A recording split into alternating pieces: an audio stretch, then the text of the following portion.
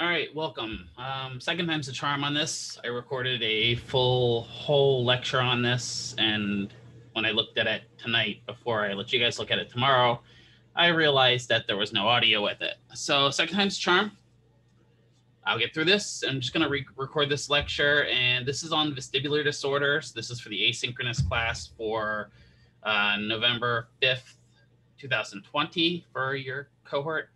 Uh, like I said, I just want to let you guys know that I really appreciate how hard you worked with Dr. Reskin for the past three days for your um, in-person labs. I will let you know what next week's lab schedule is. Please bear with me. I need to find something out for main campus.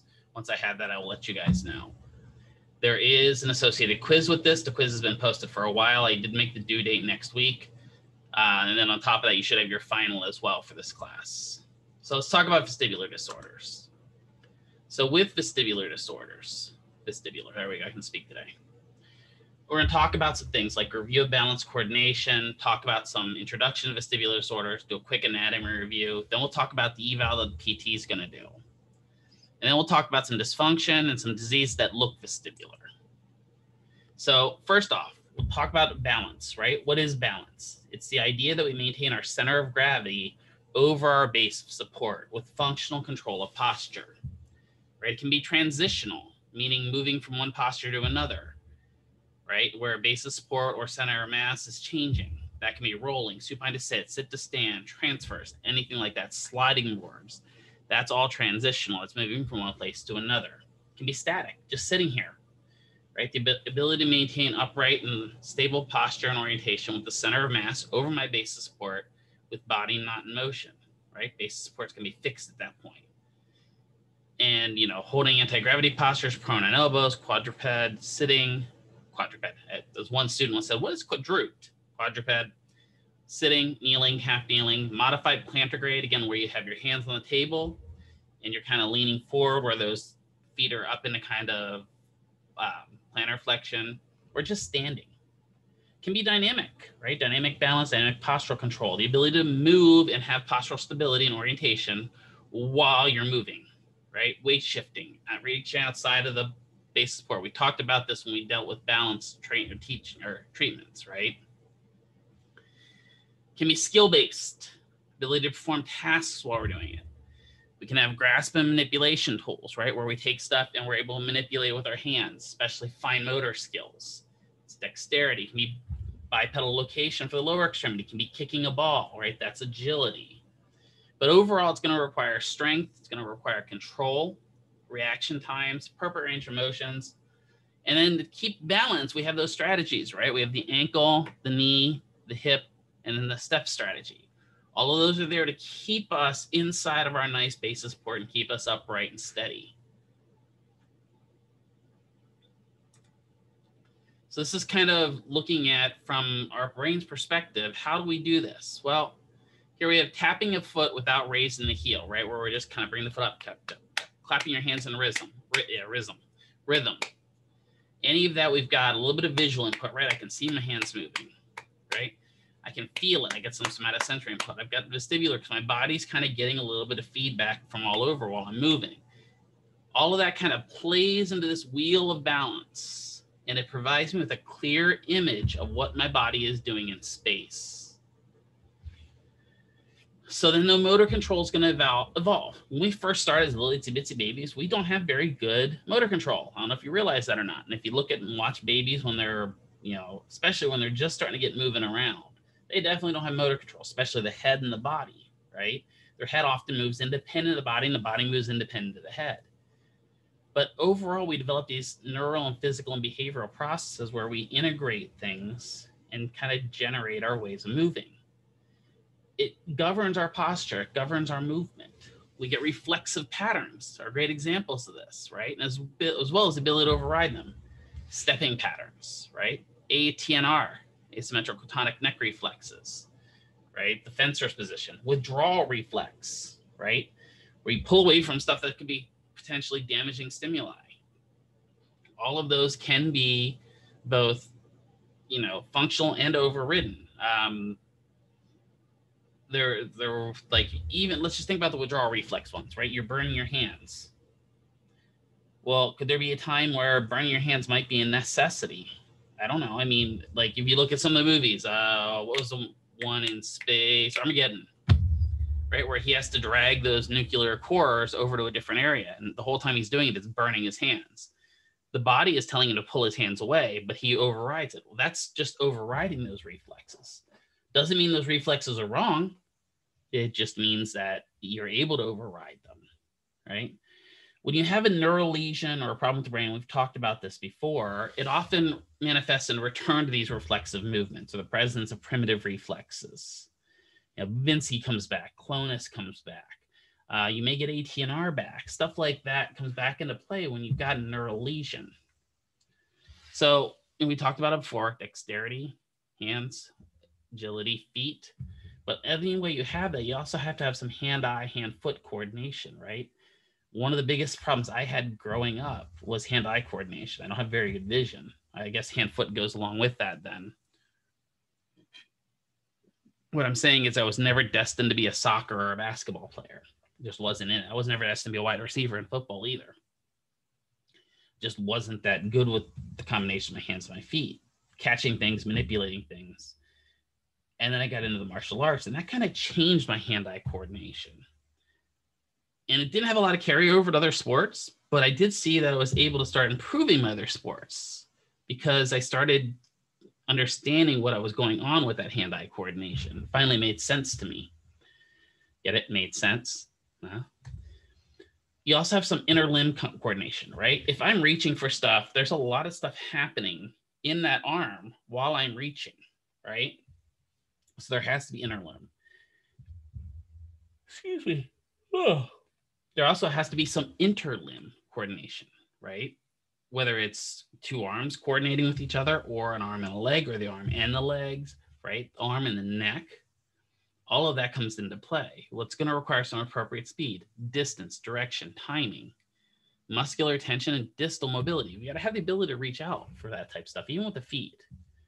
And then we've got to have the appropriate synergies, right? When I reach out for stuff, my appropriate reciprocal inhibition has to happen. Otherwise, the muscles won't fire right. Sequencing, opposing muscle groups have to work. We have to have proximal stability. We talked about this before. We can't have effective mobility unless we've got stability. And then postural control. So what happens when we see that we're missing control, right? Well, slow movement's going to occur. You start losing control. One of the things you're going to start doing is slowing down. Get that bradykinesic effect. You may get tremors. You may get some obligatory synergies that are abnormal or, you know, regress. Regress synergies where you go back to pediatrics. Um, you may get fractionated movements, meaning that you break things down into little segments as you're doing them dyssynergies. You may become hyper hypotonic, right? Rigidity, spasticity, flaccidity, dystonia, any of that can come along. You can have unintentional movements, hemiballismus, right? Athetosis. Any of those type of things can occur. You can have a loss or deficits in control of equilibrium, right? Balance kind of goes off. And then ultimately you can get with that ataxia, right? Where it's just uncoordinated and you know motor plan's intact your brain knows what it wants to do. The plan's just not getting implemented. For whatever reason it might be the plan is just not getting implemented. And that can be problematic for patients. So we've talked about a bunch of these conditions here and what could cause it right? Parkinson's ms tbi cp huntington's chorea cerebellar lesions. And then we'll talk about vestibular pathologies today.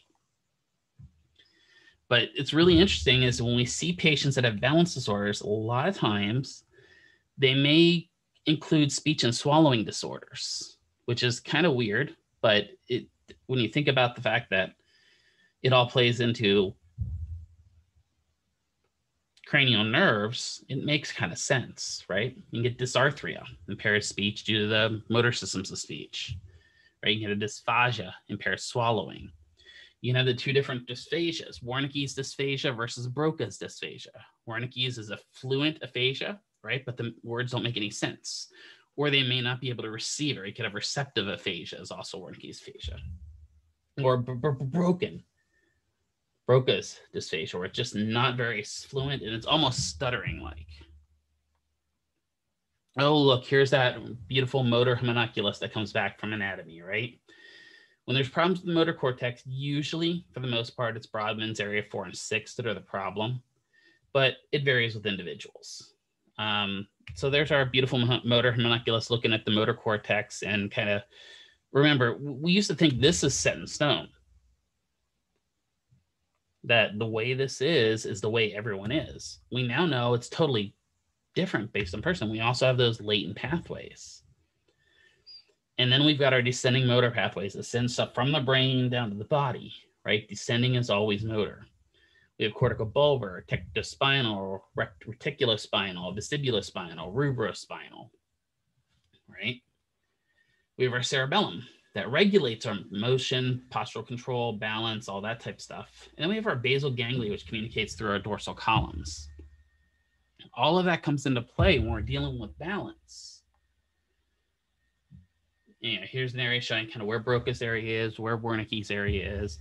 We talked about this briefly with the stroke, right? But if I end up with a stroke in this area here primarily, right, or TBI, my motor function is going to be greatly impacted.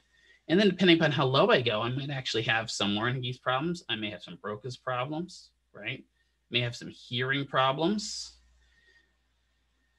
It's really good if you can to get an idea on your own head, kind of what the area, where the areas are.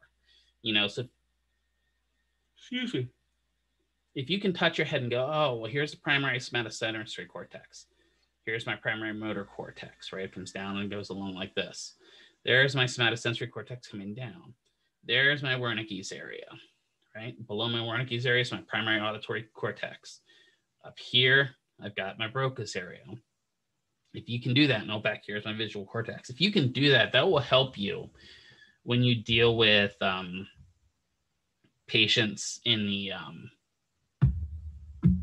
stroke and even vestibular patients as well. So just think about it. If you can get that, start working on it now, that'd be great. Yeah. Just start studying that now. That'd be really great. So cerebellum, right, regulates our movement, postural control, and muscle tone, right? Lesions here typically produce abnormal patterns, right? And we have that closed loop, open loop system we talked about, right? Closed loop is error correction. Open loop is how you kind of program things in, the cerebellum is really heavily relying on that. So when we encounter new material, we have to develop a new loop for that, right? When you first start going to the gym, you may not be as coordinated until you get going for a longer period of time. And then you'll get this kind of loop system going. So what can happen when you have cerebellar pathologies? Well, can you can have asthenia, generalized weakness, dysarthritis, dysdiadochokinesia. I'm going to read through these. I'm not going to go over them you can read just as well as anyone else. Dysmetria, synergia, asynergia, hypotonia, nystagmus, we're going to talk about today. You can have rebound phenomena and then tremors. We know that from patients that have Parkinson's, right, which leads us to our basal ganglia. And this is involved in working memory, sustained attention, right? If you, you know, the, the that's the dopamine center of our brain. There's no direct connections with the lower motor neurons, right? But it connects with upper motor neurons and it does the planning. So at the bottom kind of breaks down the different parts of it. Obviously, the substantia nigra is probably one of the big areas that you really want to remember for your boards because again, produces dopamine, important for Parkinson's. Common problems with the basal ganglia, akinesia, bradykinesia, athetosis, chorea, choreoathetosis, dystonia, hemiballismus, hyper or hypokinesis, rigidity, and then obviously the tremor that Parkinson's tremor we've talked about before. And we look at our dorsal columns, right? They regulate our discriminatory touch, stereognosis, graphesthesia, tactile pressure, barognosis, texture. So basically all of our sensation, right? Looking at this, except for the only thing really not there is pain. It has a little bit of temperature sensation, but not a lot when you have a problem with the dorsal column, it's really hard to differentiate between that and the basal ganglia or cerebellar impairment because they all kind of look the same when you have it. And this would be understanding is it a CNS spinal cord injury? Is it a CNS brain injury in order to be able to figure this out? When you have dorsal column problems, right? If you're having problems with all those sensations, you end up with that cowboy gait, right? You'll sway when you walk. Have uneven step lengths, lateral displacements, dysmetria, impaired motor skills, and a lot of times you end up with a positive Romberg sign, right? Where you put your feet together and kind of sway back and forth. And we looked at that with that patient when we talked about balance, right? But what about age? Does age matter for all balance? Well, absolutely, right? When we get older, we get sarcopenia. Our muscles decrease in overall strength, and it's not our fault. We just overall our body declines with time. Our reaction times go down, right? Can be associated with both decreased strength, range of motion, increased time to process information. That stimulus response curve gets greater. And then our motor planning just kind of goes to whack when we get older. Decreased range of motion, though, becomes a big problem right? When we have balance problems, maybe our hips don't react as well. So we lose that strategy and balance. Be huge. Postural changes, right? If I start getting that kind of forward hunched posture, now my base of support is vastly different than it used to be.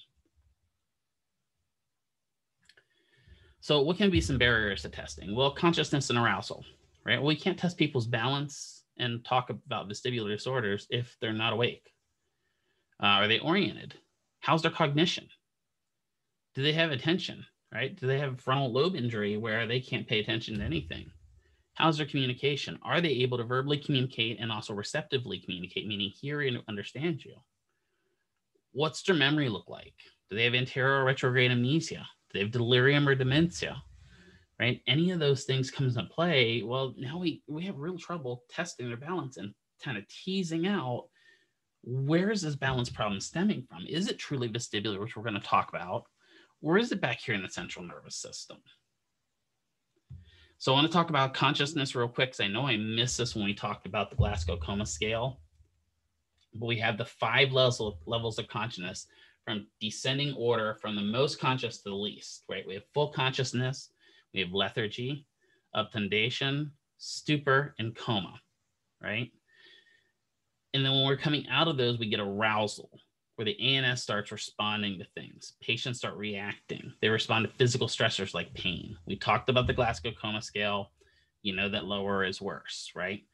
Usually, when a patient is in a coma, true coma time is generally limited. They usually end up in either from stupor to lethargy for quite a period of time. Right? They can end up in this persistent vegetative state that can last a year or longer after TBI. And if they have an anoxic event, it can be three months or longer right? So any of this can cause a patient to get stuck in this level of consciousness that's not appropriate for us for testing them. And then we talk about equilibrium versus non-equilibrium, right? Equilibrium talks about standing or balance activities, the ability to maintain equilibrium statically and dynamically. Non-equilibrium refers to supported sitting activities, right? The ability to perform components and movements in that type of setting. So think wheelchair when you think non-equilibrium. Equilibrium, we've got balance activities where we actually have to maintain our center of gravity or center of mass over our center of gravity. So coordination, that can come into play because coordination can affect our balance. How's our range of motion? Is it smooth? If we ask them to reach out and touch a pen, are they reaching out and touching the pen? Are they smacking themselves in the face? If we ask them to pick something up, they ask them to reach out and pick something up, are they actually reaching out and picking it up? Or do they get halfway and drop it? Right? You can test this with my left hand. Eventually, if I hold this long enough, I'm not gonna, it's not gonna be a, happen now because I want it to happen. There are times where I'm holding this and the left hand just goes, nope, and drops it. It happens. Right? Sensation, is it intact? Right? You have me close my eyes and reach out. Let's see. All right, so I've got a pair of scissors. I've got a pen. I've got a remote. And you ask me to put them out on the table. And you tell me, okay, reach out and find the one that's the pen. Well, with my right hand, I can do it easy, right? My left hand, I, mean, I can reach out for stuff. And what you'll notice with somebody that's got sensation issues, exactly what I do is I'm going to tilt the camera down slightly for this and it still isn't low enough. But when I'm reaching for stuff, you'll find that I broad face it. I really kind of lay my hand on it because I have deep pressure sensation. I have barognosis in there, but I don't have a lot of fine motor sensation. So it's really hard for me to pick something up if my eyes are closed and know what it is, right? So I can pick this up and I know that I've got a hook up here somewhere because I can feel it. I felt it dig into my hand. So I'm pretty sure those are my scissors, right? But if you give me two objects that are really close, um, you know, there we go, this actually works, where I have a stack of paper and a remote control and you lay them down and I know which way they went, so it doesn't help me at all, right? But I could put these down and they're pretty common in shape. So I'm not going to be able to specifically tell you with the without sensation which is which. I can't identify it. I lack that stereognosis. Um, gross motor skills. What's my body posture look like? Am I hunched way forward? What's going on with my body posture? How's my use of my large muscle groups, right? Am I using them appropriately? Am I substituting? What's my dexterity look like? Ooh, can I manipulate stuff? Can I hold a pen? Can I do that three jaw chuck grip with the pen? Can I do lateral apprehension? Right? Can I do any of that type stuff? You know, what does my postural control look like? Do I have righting reflexes? So if I start leaning over the side, do I know that and start correcting it? Right? Do I have anterior righting? Do I have posterior righting? Do I have lateral righting? Am I looking at where I'm at in space? Does my head have it? Right? So maybe you see me leaning like this, but my head goes like this. Well, what am I doing? I'm righting my head so my vision is upright. Right. So I know that my body is going this way. So my ob- what I try to do is right my vision because of it. Well, now you can tell me what's your body feel like? I don't know. Right that can be a problem with patients. How is my weight distributed? Like me, like right now, I can tell you I'm sitting heavier on my left butt cheek than my right butt cheek. How do I know that? Well, this chair sucks. First of all, I have to get a new one. And I'm sitting on the actual metal rails inside the chair. And I can feel it heavier on my left side than my right side. Well, why might that be? Well, I'm left handed, even though I've got no sensation in my left hand. Thank you very much right? But I'm left-handed, so I tend to lean on my left side a little bit more. Right? Think about it when you're writing, which side do you lean on, right?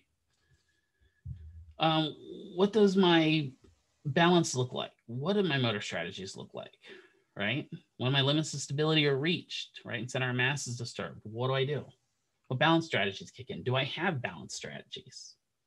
And when I do, what's my sensory integration? I can do the sit sit we talked about before.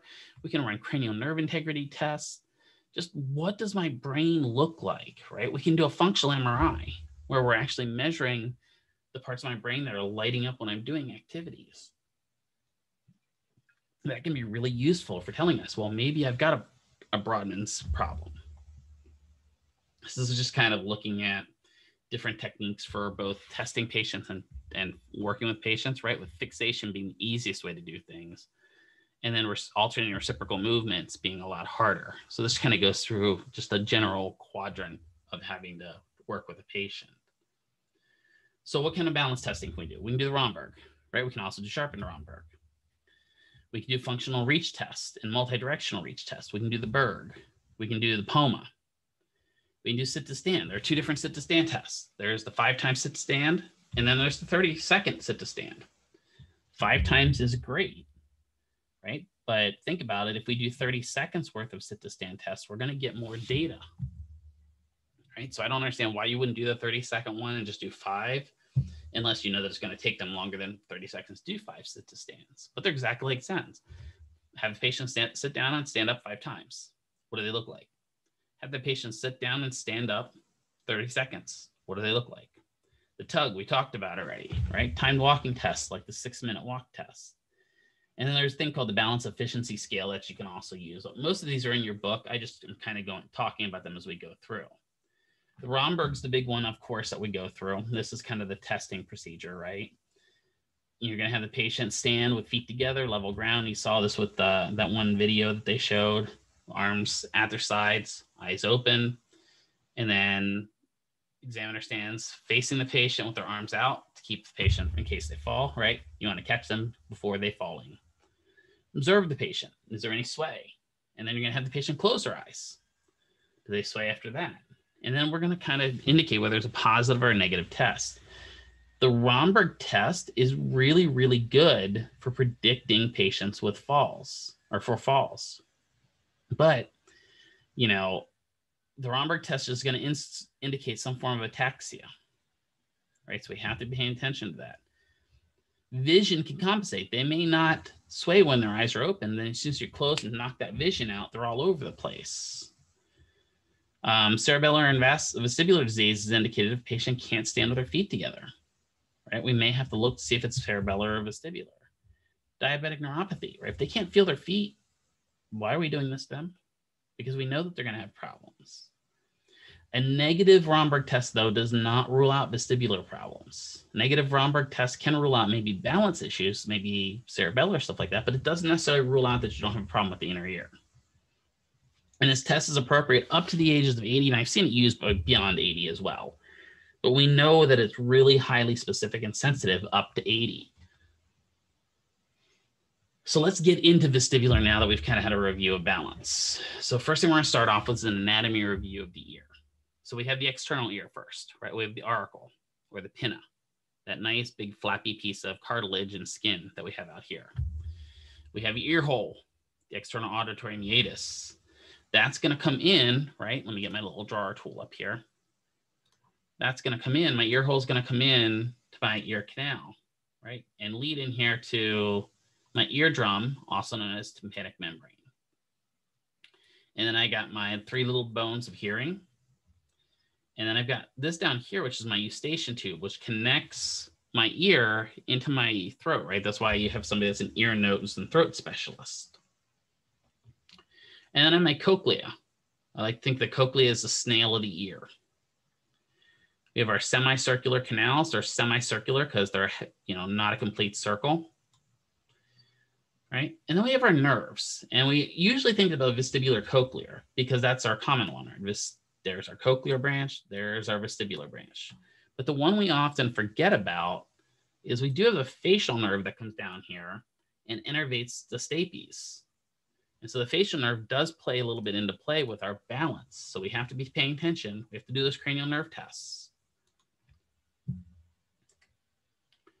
So then we have the bony labyrinth, right? The bony labyrinth kind of houses the membranous tubes of the inner ear. It's the hardest bone of the skull, right? The temporal bone inside the bony labyrinth, we have the membranous labyrinth, which is like the inner tube inside of a bike tire. So the bony labyrinth protects the membranous labyrinth. And that's where you'll find your vestibular apparatus and your cochlea, right? Which is just one big tube. So your cochlea interacts with all of those semicircular canals. They're all filled with the same type of fluid. We also have an endolymphatic sac. That's the drainage area of the inner ear right? Um, trying to see if I don't remember if my picture actually has the endolymphatic sac. I don't think it actually has it on here, if I remember correctly. Yeah, I actually don't really have too much about that on here. But the endolymphatic sac is, you know, your drainage, right? It's going to drain down into that uh, eustachian tube, right? Or the inner ear tube. So the vestibular nerve itself bifurcates into two branches, right? So we have the superior division, and the way to remember the superior division is it goes once that once it splits off vestibular cochlear and goes vestibular, the superior division goes to the LSU, right? So superior LSU. Obviously, that's an easy way to remember it. No, please don't say that. LSU's whatever. I don't want to talk about football. Don't start me on Penn State. Lateral canal, superior canal, and the utricle, the superior branch goes to. The inferior branch goes to the posterior canal and the saccule. There's no real way to remember that one, unfortunately. But if you remember LSU, it only leaves you posterior and saccule to for the inferior division. The vascular supply to the ear is really fragile. The arteries are really tiny, right? They all come from the AICA and the basilar artery, right? That almost comes off of the circle of Willis, right? And if you look, that's a lot of tiny little branches and splits and curves and everything like that. And it feeds everything we have. Because these are living apparatuses, we need blood to that area. So even if you have a stroke, if you have a stroke in the anterior vestibular artery, that's going to knock out most of the blood flow to your semicircular canals. And if that's the case, well, your balance is going to suffer. So why would we want to treat patients with balance and dizziness, right? A couple of things, like you're going to work with old people primarily. And let's face it, old people, not always the nicest people in the world, right? It's also really difficult because a lot of them are going to have multiple comorbidities. Dizziness itself is a silent disease, right? People go years with dizziness and they go to the doctor and they just give them meds and meds and meds and meds. And the meds don't do anything. And patients like, well, this isn't doing anything. So the doc ups the dosage, changes the med, right? Meds may not be the answer. It's a really difficult concept to understand, even at this level that I'm going to talk through to you guys. By the time I'm done here, a lot of you are going to have fried brains. The vestibular, what?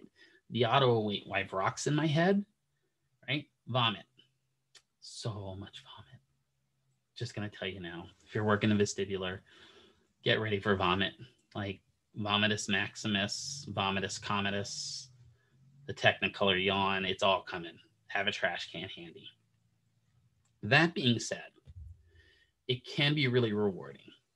And why can it be really rewarding? Because you could be that one person that treats a patient who's had dizziness and balance issues for six years, and they come to see you for five treatments, and they're so much better.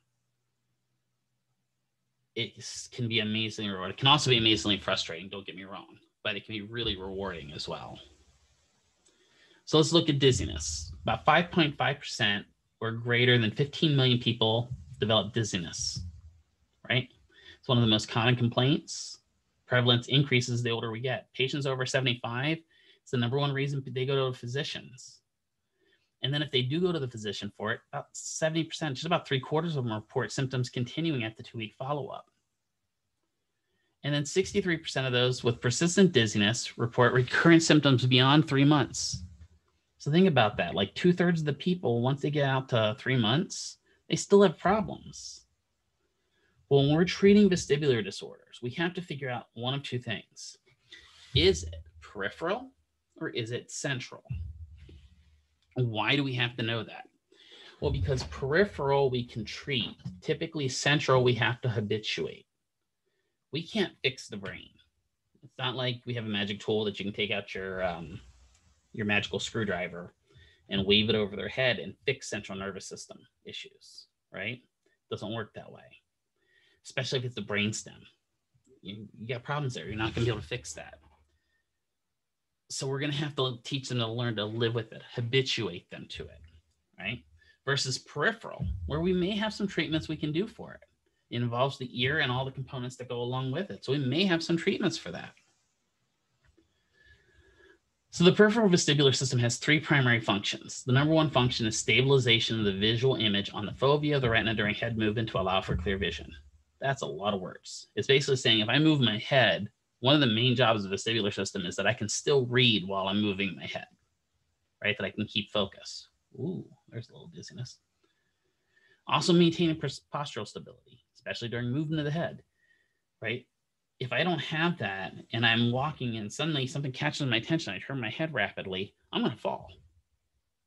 It provides information for spatial orientation. Where am I at in space? So the peripheral vestib system, the PVS, right, has semicircular canals and otolith organs. So semicircular canals are the horizontal, right? Horizontal, meaning this way, right? Or lateral canals the superior or anterior canals, and the posterior or vertical canals. So the horizontal and vertical canals are really easy to kind of think of the way they're oriented. The superior or the anterior canals are oriented at a little bit of an angle, so it can be a little more difficult to kind of grasp them. And then we have the otolith, or otherwise known as the stone of the rocks in my head organs, right? We have the utricle and the saccule. So we have the SCCs, the semicircular canals angular head rotation stimulates these to varying degrees, right? So the SCCs are filled with this endolymph, this really thick kind of viscous fluid, it's a little thicker than water, that moves freely within the canals in response to the direction of the head. Key thing here, though, is patients that have vestibular issues, often one of the major problems they have is dehydration. And that kind of makes sense. If they're dehydrated, right? When they're dehydrated like that, all the fluid in their body is going to get thicker. If that fluid in their ear gets thicker, it makes it more difficult to respond to head movements, right? So that means they're going to report larger chances of being dizzy.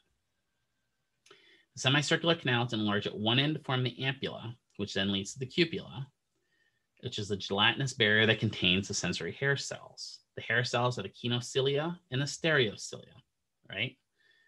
These are the hair cells that are seated in the crista, crista ampullaris, right? The sensory organ is, of rotation is what that means. So up at the top here, we have a really good kind of picture of here's our crista ampullaris, right? Which is that interaction with all the nerves. And then here's our cupula that's out here. And then we have our hairs coming off of it. Yay, right? With our hairs, we have two different types again. The ears and cilia is in your nose as well, right? The stereocilia are the smaller fibers, right? The smaller fibers are the stereocilia. The kinocilia are the larger fibers. And the way I always remember that is if I win kino, I win big. So that's the big fibers. And when I think of things in stereo, I think of many things hitting me at the same time. So the smaller fibers. If that works for you, great. If it doesn't, I can't help you. Sorry. Right? They're mechanical sensory organelles, meaning they detect deformation of those fibers. They convert the mechanical movements into electronical signals, electronical, electrical signals. So when they detect movement of themselves, they convert that into a signal that gets sent to the brain. They're arranged in bundles of 30 to 300. You can see the one picture that I have down there. That's actually a picture of inner ear hairs. You can see how kind of, I think that's at like 3000 high magnification. I forget what it is, um, but they're magnified pretty heavily. And if you look over here in the upper corner, right over here, there's our stereocilia, there's our kinocilia, and there's our rocks in our ears right? The otoconia that lay in the endolymph. Those provide a weight for shifting back and forth. And it's real funny when you have a patient that first actually gets a doc that understands vestibular issues because the doc will tell them about the otoconia. And the patient will come see you in therapy and be like, man, the doc said the rocks in my head are messed up. Yep. And you probably have a labral tear in your shoulder too. Right. So what happens here? Well, you can either have depolarization or hyperpolarization. Guess what we're going to come back to in a few minutes here. Do you remember that good old fashioned um, action potential curve? Oh, yeah, that's coming back here, baby. So depolarization occurs when the deflection of the stereocilia move towards the kinocilia. So when they get together, they depolarize, right? When they move away from the kinocilia, that hyperpolarizes or inhibits them. Depolarization, excitation, hyperpolarization, inhibition. Now, there is this thing called the push pull dynamic with this, right? So the push pull dynamic says when the head is turned towards the right, the hair cells in the right semicircular canal are excited, while the hair cells in my left semicircular canal are inhibited. What's going to happen there, right? My Stereocilia over here are moving towards my kinocilia, and over here, they're moving away from it. So I'm going to get hyperpolarization over here, depolarization over here. That tells me my head is moving right. Oh, this action potential curve, right? Remember that all of our things kind of function about minus 70 degrees or minus 70 millivolts. And we get those graded potentials that come along until we hit that threshold potential of about minus 55, right? It gets that point and bam, it threshold fires off, right? So that stereocilia, right? So let me draw some stereocilia here. So here we have some little fibers. And then we've got our big daddy coming in here. There's our kinocilia, right? So those stereocilia, for whatever reason, get knocked into this couple times. Well, now that maybe they don't get totally, maybe it's only one. So getting those little graded potentials, right? Remember those. Then all of a sudden, bam, they get knocked over and this thing takes a ride. At that point, depolarization occurs, just like it occurs anywhere else. Sodium ions come rushing in and you get a firing off of a signal. Once that firing off signal happens and you get to a point where you don't need that firing off signal anymore, your head tells you where you are in space, repolarization occurs. So there goes potassium ions out, right? and you're going to drop down. Now, for a short period of time, when I'm over here, Remember, this side is hyperpolarized. It's inhibited naturally. So naturally, it's taking me down below negative 70 millivolts. Why is it doing that? It's trying to keep me from firing over here because I'm turned to the right, right? But eventually, even the right side is going to hyperpolarize. And while it's hyperpolarized, doesn't matter how much further I turn to the right, I know I'm to the right until it kind of levels back off and I get back to that resting membrane potential. Oh, yeah, you thought that you were done with that, didn't you? Nope, nope, nope. It comes back.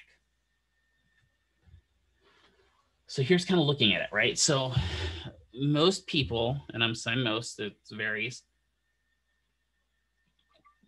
Most people in their inner ears, they have spikes of kind of um, resting potentials firing at anywhere from 70 to 100 spikes per second. So that's just this constant tonic firing rate, right? So now when I turn to my left, when I turn to my left, this side is going to go up in firing rate. This side is going to go down. Typically, when you turn, they move in about the same pattern. So if I turn my head to the left and this goes up by 90, this side's going to go down by 90. Key thing is it can't really get to zero. It'll get really close, but not quite to zero. right? Because that would be an inhibitory cutoff if it got that low. Now I know this slide, this slide shows going up to 180 and 10 on the other side. You know, there's a lot of different variations that happen about it, right? But if you just remember that if this side goes up, this side goes down when I'm turning towards it. So if I turn to the right, now this side goes up, this side goes down, and it's tonic firing rate. Out of that, we go into the otoliths, right? The otoliths are the saccule and the utricle, the saccule and the utricle. They respond to linear acceleration and static head, head tilt. So I'm going to give you some hints here to to remember this. Utricular excitation occurs during horizontal linear acceleration or static head tilt, right? So moving head while you're in the car or looking forward through a front window, anything in the horizontal plane. Saccular excitation occurs when you're going up and down, vertical linear jumping. So what I usually like to remember is you move forward and you jump in a sack. So utricle linear, right? Saccular up and down. Linear up and down. Understand here though, the normal endolymph and stuff like that that we have in the cupula have the same density and everything. So when a bolus of debris moves the canal or moves the cupula, the mechanics of the ear changes, right? And may cause artificial firing in the ear, right? So if you get something where maybe a piece of that rock breaks off and floats around, that's what's causing these patients vertigo is when this endolymph becomes an abnormal density, right? So maybe a rock piece breaks off, or maybe it becomes too thick because they're dehydrated anytime that happens, that's where vertigo comes into play. We're going to talk about those terms in a little bit here, right? Well, what about the CNS? We talked about the PNS. What about the CNS? Well, primary CNS vestibular input comes from the brainstem, right? An MRI seems to show that the parietal and the insular region are the cortical region location for processing vestibular information. There's connections between the vestibular cortex, the thalamus, and the reticular formation that allow the vestibular information to contribute to the ability to be aroused. Not aroused like that, meaning aroused like wake up, right? The consciousness awareness of your body, where it is in space. And the discrimination between movement of you and movement of the environment, right? Just imagine what it would be like if we could actually feel the movement of the earth and we didn't have the inertia that we have that we talked about in physics where we'd have to worry about feeling us moving forward at 10,000 meters per second. That would really throw us off right? But we have to understand that the body does kind of regulate.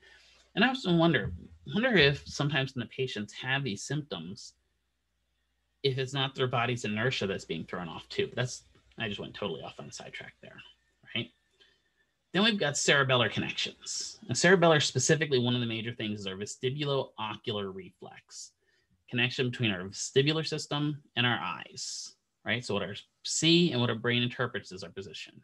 So if I tilt my head like this, my inner ear tells me my head is tilted.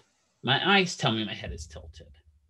Well, what would happen if I tilt my head like this? My eyes tell me my head is tilted, but my inner ear is like, Nope, everything's okay. I have a unilateral dysfunction on my left side or something, or bilateral at that point, either. Ooh, that could really mess you up, right? And that would lead to vomitus maximus because now I'm getting conflicting information, right? Especially if it's really bad, right? So if I'm spinning around in the chair, wee, wee, wee, and you stop me, and my eyes get the focus that I'm not moving anymore, but my inner ear is saying, "Oh no, you're still moving." Right? Do you ever get off a boat and you get off a boat or get out of a pool and you still feel like you're kind of floating back and forth, right? That's because your inner ears have not stabilized to static ground surface anymore. Your inner ear has actually adjusted, right? And adjusted that tonic firing rate to compensate for the constant sway back and forth of the boat or the water in the pool and you get out in dry land, and all of a sudden you're like, oh, right. Some people can't adjust to that movement and they get seasick. Right? They get on that boat and they can't get that tonic firing rate to adjust. And so they're on there and they feel every motion of the boat. And they're going back and forth and they're going back and forth. And the next thing, right? Again, vomit, so much vomit. So the vestibulospinal tract helps us with our posture during static and dynamic activities. And then our cortical bulbar tract helps us to coordinate those static and dynamic activity motions for posture with the coordination of our limbs. So we talked about tonic firing. We talked about the VOR. We talked about the push pill, push pill, push pull, right? Talked about inhibitory cutoff, where if I turn so far enough that this side's going to be kind of shut off, right? We also have velocity storage system, which we'll talk about.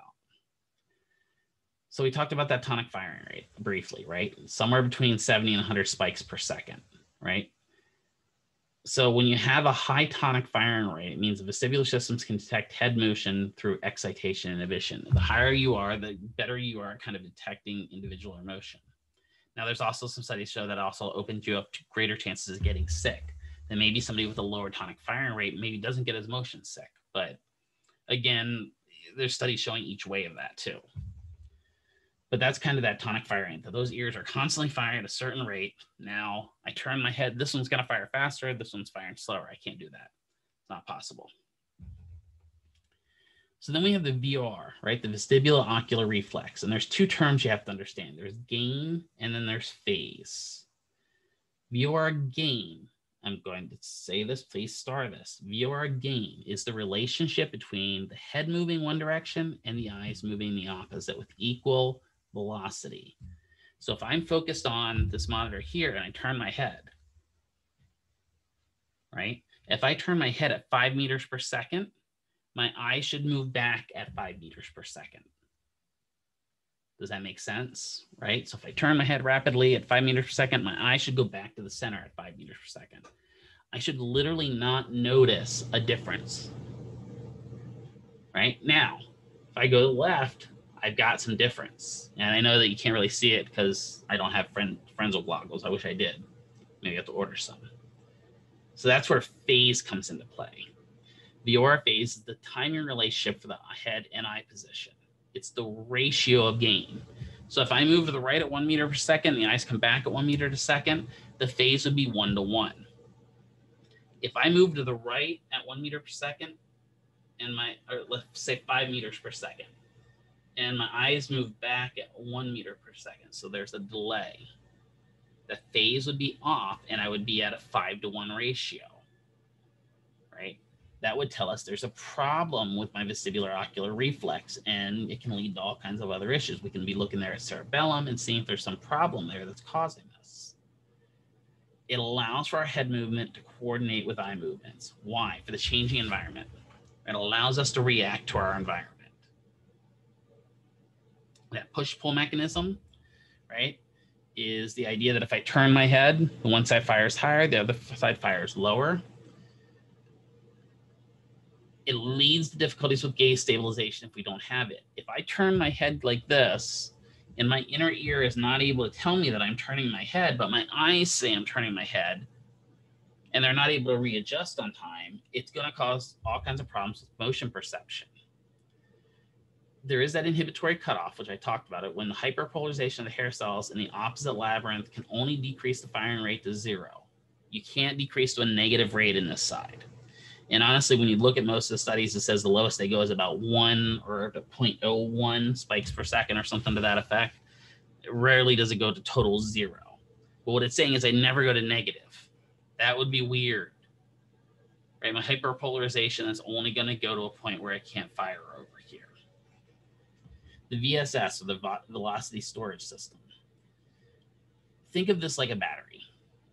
Okay. So don't get heavy into this because this is way high level. You need to know the velocity storage system exists. You know that it's the, purpose of it is to assist the brain in detecting low frequency head rotation. So slight tilts of the head, right? It allows the head to adjust slightly with the cupula when it's deflected, but not totally. So if you have minor head motions, it allows the brain to react to it. Know that I don't necessarily have to whip my eyes back the other direction, right? Minor head motion, your eyes don't really need to move all that much, right? It'll be really bad if I go minor motion like this and my eyes are, right, rotating back. It knows that there's a stored charge there. It says, okay, if I go by a certain degree, I don't need to make a change. So then we get smooth pursuits. So this is the ability in order to, let me see what I've got this nice and shiny in here. Do I have anything nice and shiny? Um, I got it. That's not bad. What do I have that's something I can follow in here? Give me a pen or something. All right, there we go. We got a pen. We'll take this nice green eyeglass cloth, right? Brighter the colors, the easier it is to follow, typically, right? As long as you're not colorblind. So I get this pen and I've got a nice color on that gives me something to see. Yeah, I got a flag. Fun with flags. Um, smooth pursuit is if I'm following this,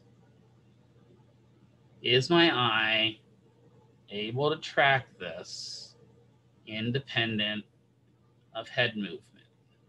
Right? This happens when you get pulled over for DUI, suspected DUI right? I'm getting rid of the screen thing, whatever. Um, the officer's going to tell you, follow my pen with your eyes and your eyes only. Two reasons he's doing that. Number one, can you follow commands?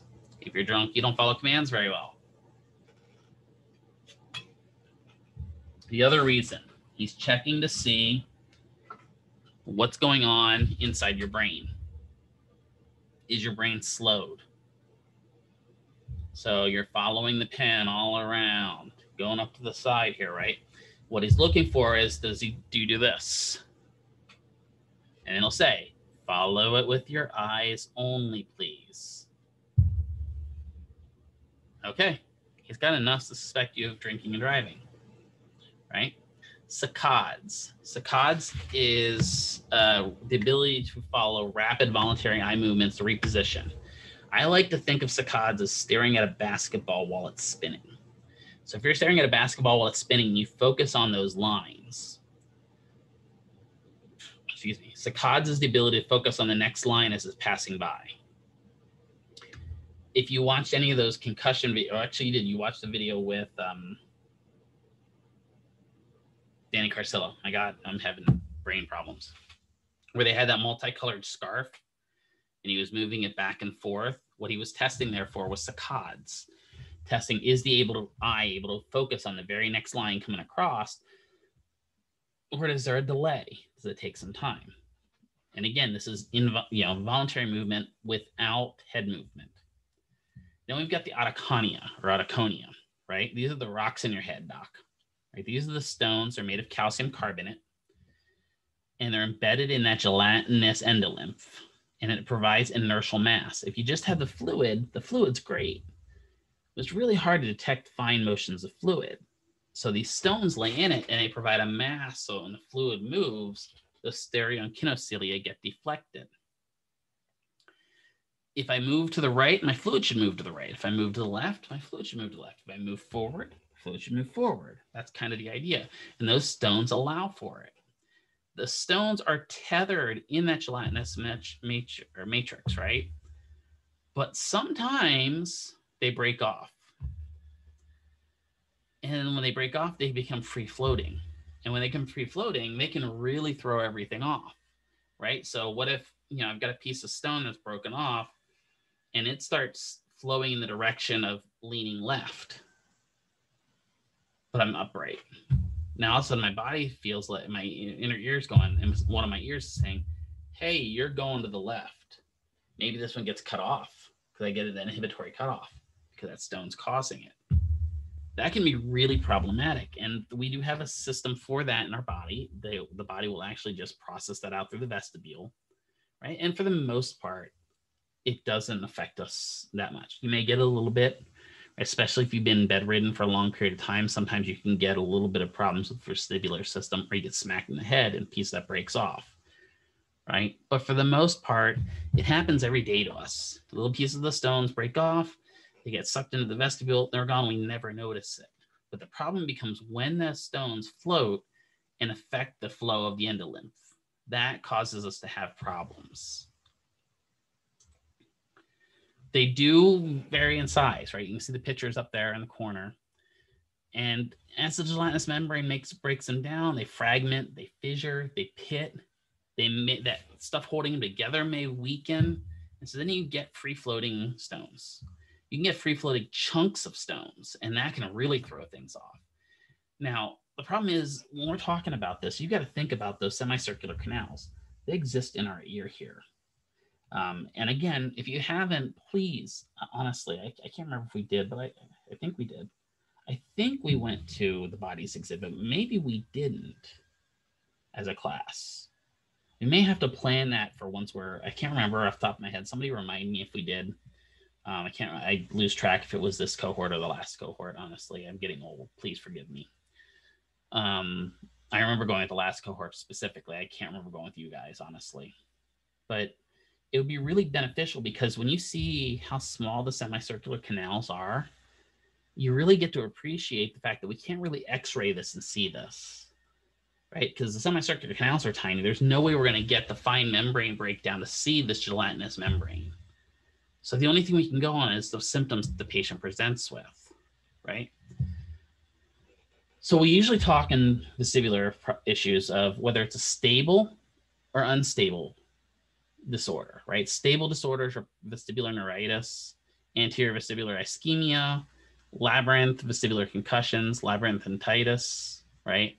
Unstables, or we talk about BPPV, it would be unstable because those rocks are moving. We'll talk about that. Meniere's, which is a disease we'll talk about. Recurrent viral vestibular neuritis, right, where it keeps coming back. Acoustic neuromas or acoustic schwannomas. Perilymphatic fistulas, holes where there shouldn't be. That would be bad. Right? A fistula is a hole where there's not supposed to be a hole. If you get a fistula in your abdom- abdominal cavity, you have a hole going somewhere that there's not supposed to be a hole. And again, that could be a problem. You also have this thing called a superior canal dehiscence. And so dehiscence, you're going to learn about this when we talk about wound care next semester, but dehiscence means ripping off. So sometimes in severe conditions, that superior canal just rips off.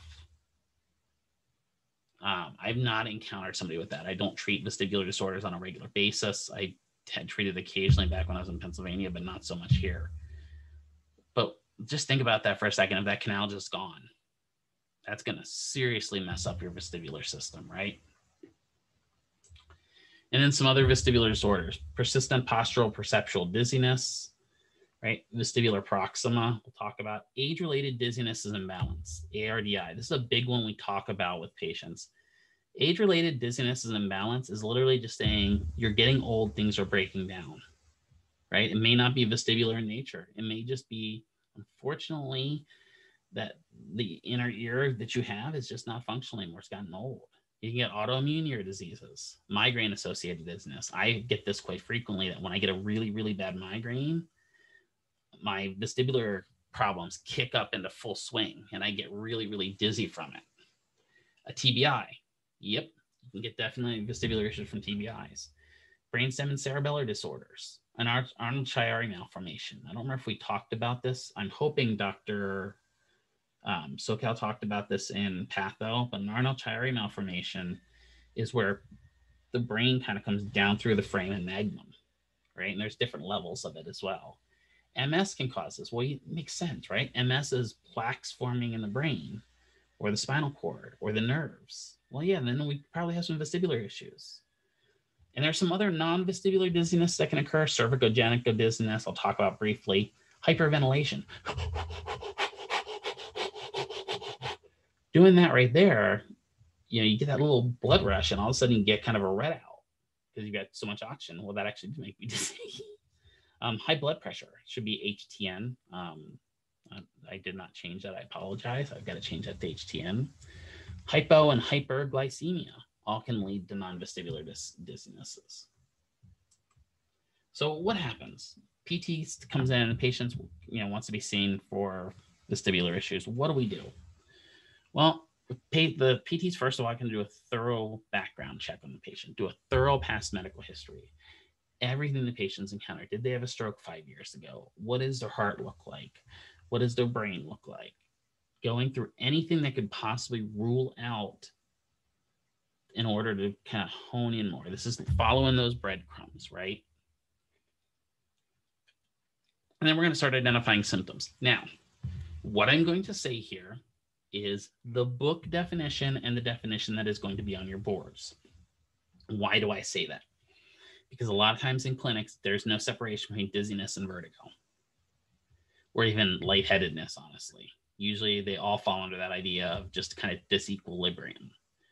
But these are the definitions by your book that should be used on your boards. So, dizziness is a vague sensation of lightheadedness or feeling tendency to fall typically the sensation of the body moving when it's not really moving. So dizziness, body moving, not really moving.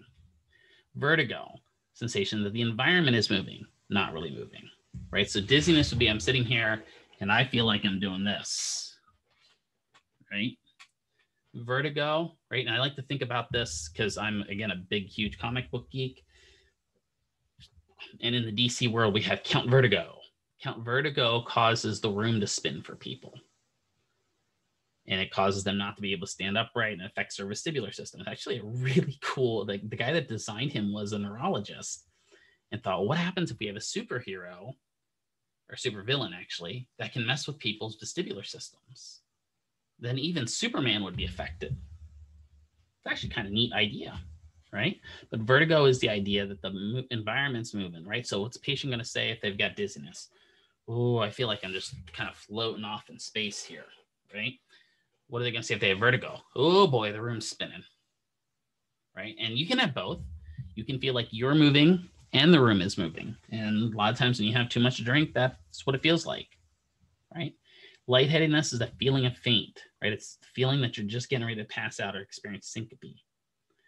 Sometimes can be caused by other non-vestibular issues like hypotension, hypoglycemia, anxiety, right?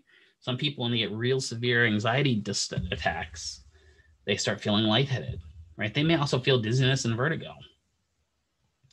Disequilibrium is just the feeling of being off balance, right? So, patient, what's the patient going to say with that? I just feel off. Every time I stand up, I just feel like I'm not fully standing up. I don't feel right. Well, you ask them, is the room spinning? No. Are you feeling like you're spinning? No, I just don't feel on balance. I feel off. That's disequilibrium, right? Then we have one of my favorite, oscillopsia. I just like the word. It's kind of like dysdiadochokinesia. Um, oscillopsia is a sensation that objects in the environment are moving and they're not really moving, right? So that'd be when I'm staring at this pen and I'm telling you, stare at the pen. I'm not going to move. I want you to focus on it. And for me, the pen's doing this. Like, stop moving the pen. I'm not moving the pen, right? Um, did you ever have it where you're, not feeling very well in the car and you tell a person to stop the car and they stop the car, but to you, everything's still moving, right? The car is still moving. That's an oscillopsia event, right? When you're still seeing stuff kind of going by you. Really, that kind of that flow of stuff going by you is really saccades, right? That's when you're when you're looking out the window and you see stuff going, you're looking at those signposts that would be a saccades, right? Being able to focus and go from one car to another, right, is smooth pursuit. Anyway, I just happened to think of that when I was sitting here. So then we have to determine how long do the symptoms occur? What are they looking like? Are they acute? Right? Oh, look, you have acute dizziness. and that's sweet? No, dizziness is not acute. Not cute. It's, it can be acute. Right? Is it chronic? Is it episodic, meaning that it comes and goes? Is it constant? Every time I get up, I just get sick. Okay. What makes it better or worse? Well, you know, in winter, I feel better. Hmm. So cold weather makes it feel better. Or usually it's the other way around. We'll say that in summer, I don't have the dizziness as much. Well, why would that be? Well, you got to think about it. Well, at that point, when it's warmer out, you're more likely to have that fluid in your ear be a little bit thinner, right? Because the heat kind of thins everything out. Hmm, okay. When I lay down, I feel better. Okay, so when they're in a completely stable body, sta- stable head position, they're not dizzy. But anytime I move, man, it gets worse. Okay, good. That gives us stuff. It's breadcrumbs. We're starting to eat the breadcrumbs. We can run some tests. We can do a visual analog scale on a scale of zero to 10, with zero being, you know, nothing at all. I don't feel dizzy at all. To 10, oh my God, hand me a bucket how would you rate your dizziness? How would you rate your lightheadedness? How would you rate your disequilibrium? What does it do to you? Oh, it's a 10 out of 10, just like everything else, right? My pain's 10 out of 10, my dizziness is a 10 out of 10. Let's go to the hospital. No. But it just kind of gives you a rating, right? And you can use that as kind of a subjective rating between visits because maybe they're a 10 out of 10 when you first see them, but three visits in, they're at a six. That's a huge change for a patient that suffers dizziness it can be life altering. Uh, the Dizziness Handicap Inventory, the DHI. It's a subjective measure of the patient's self perceived handicap. It lets them tell you how bad the patient feels their symptoms are. There's the FDS, the Functional Disability Scale, determines patient's response to PT, right? It's administered before and after to give quantitative outcome results. Motion sensitivity quotient, subject to the patient's dizziness when placed in positions, right? So we're going to put them in sit upright. Okay, tilt your head. Okay, tilt your head tilt your head. And then we're going to have them kind of rate how their dizziness occurs when we do. Okay, lay down on your right side. Okay, lay down on your left side. I just totally botched that. Hold on. Lay down on my left side. Lay down on my right side. Right? So eye movements. This can be primary importance. We can use this to kind of help us localize our vestibular pathology, especially nystagmus. Nystagmus is the involuntary shaking or torsioning, which is known as twisting or turning. Twisting and turning. Never mind. Um, I can't sing. I know. Twisting or turning of the eyes when there shouldn't be. Right. It's usually described on whether it beats. Right. What? How does it move? Does it move to the head? Beat upward. Beat downward to the body. The beat left or right. Usually we don't talk about left or right because left or right can be kind of subjective. We usually talk about left eye upward nystagmus. That tells us the left eye is moving upwards, right? Because we usually use save left or right for describing the eye, but we will talk about geotrophic and ageotrophic. Geotrophic means if I have them laying on their left side and it's beating down to the ground and it's in their left eye, I could say they have a left eye geotrophic nystagmus, meaning it's beating towards the earth. I don't usually use that if I see nystagmus when they're sitting up. When they're sitting up, it's either going to be up or down nystagmus because geotrophic save typically when they're laying on their sides. We need to observe it under ideal conditions, right? It's really hard to just stare at somebody's eyes. It's really creepy too, right? Staring into your eyes. Hold on. Are you staring at my eyes? I'm staring into your eyes. Let's see if you have nystagmus. Yeah, that's creepy, right? So we give them what's called Frenzel lenses. They're these big lenses, and if you've ever seen Office Space, which is a fantastic movie, if you haven't seen it, must go see it. Highly recommended. But there's a guy in it named Milton, and Milton's got these really big, thick, thick, almost like my glasses, right? And even if you look at mine, when you see my, if I go from here without glasses to here with glasses, my eyes get much bigger in your sight, right? Frenzel lenses are going to blow that out of proportion. They're going to your the uh, the actual eye is going to become so big you can clearly watch their pupils, right? And You can see if they dilate.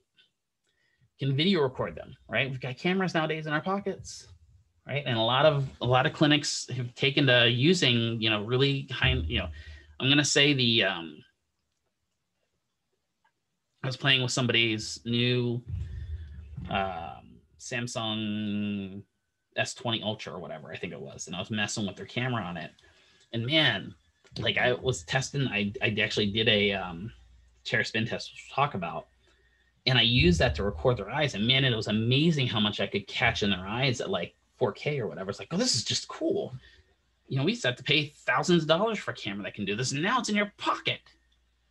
And we can use infrared cameras, right? Because the eyes have different temperatures and that can help us figure it out. But we want to watch when we do techniques with them, do their eyes beat when they shouldn't, right? So if I turn my head like this, my eyes should come back if I'm focused in the middle, right? So if I'm focused here and I turn my head, right, I have that gain in phase. Well, if I turn my head like this and the eyes go to and then beat back, that's an nystagmus.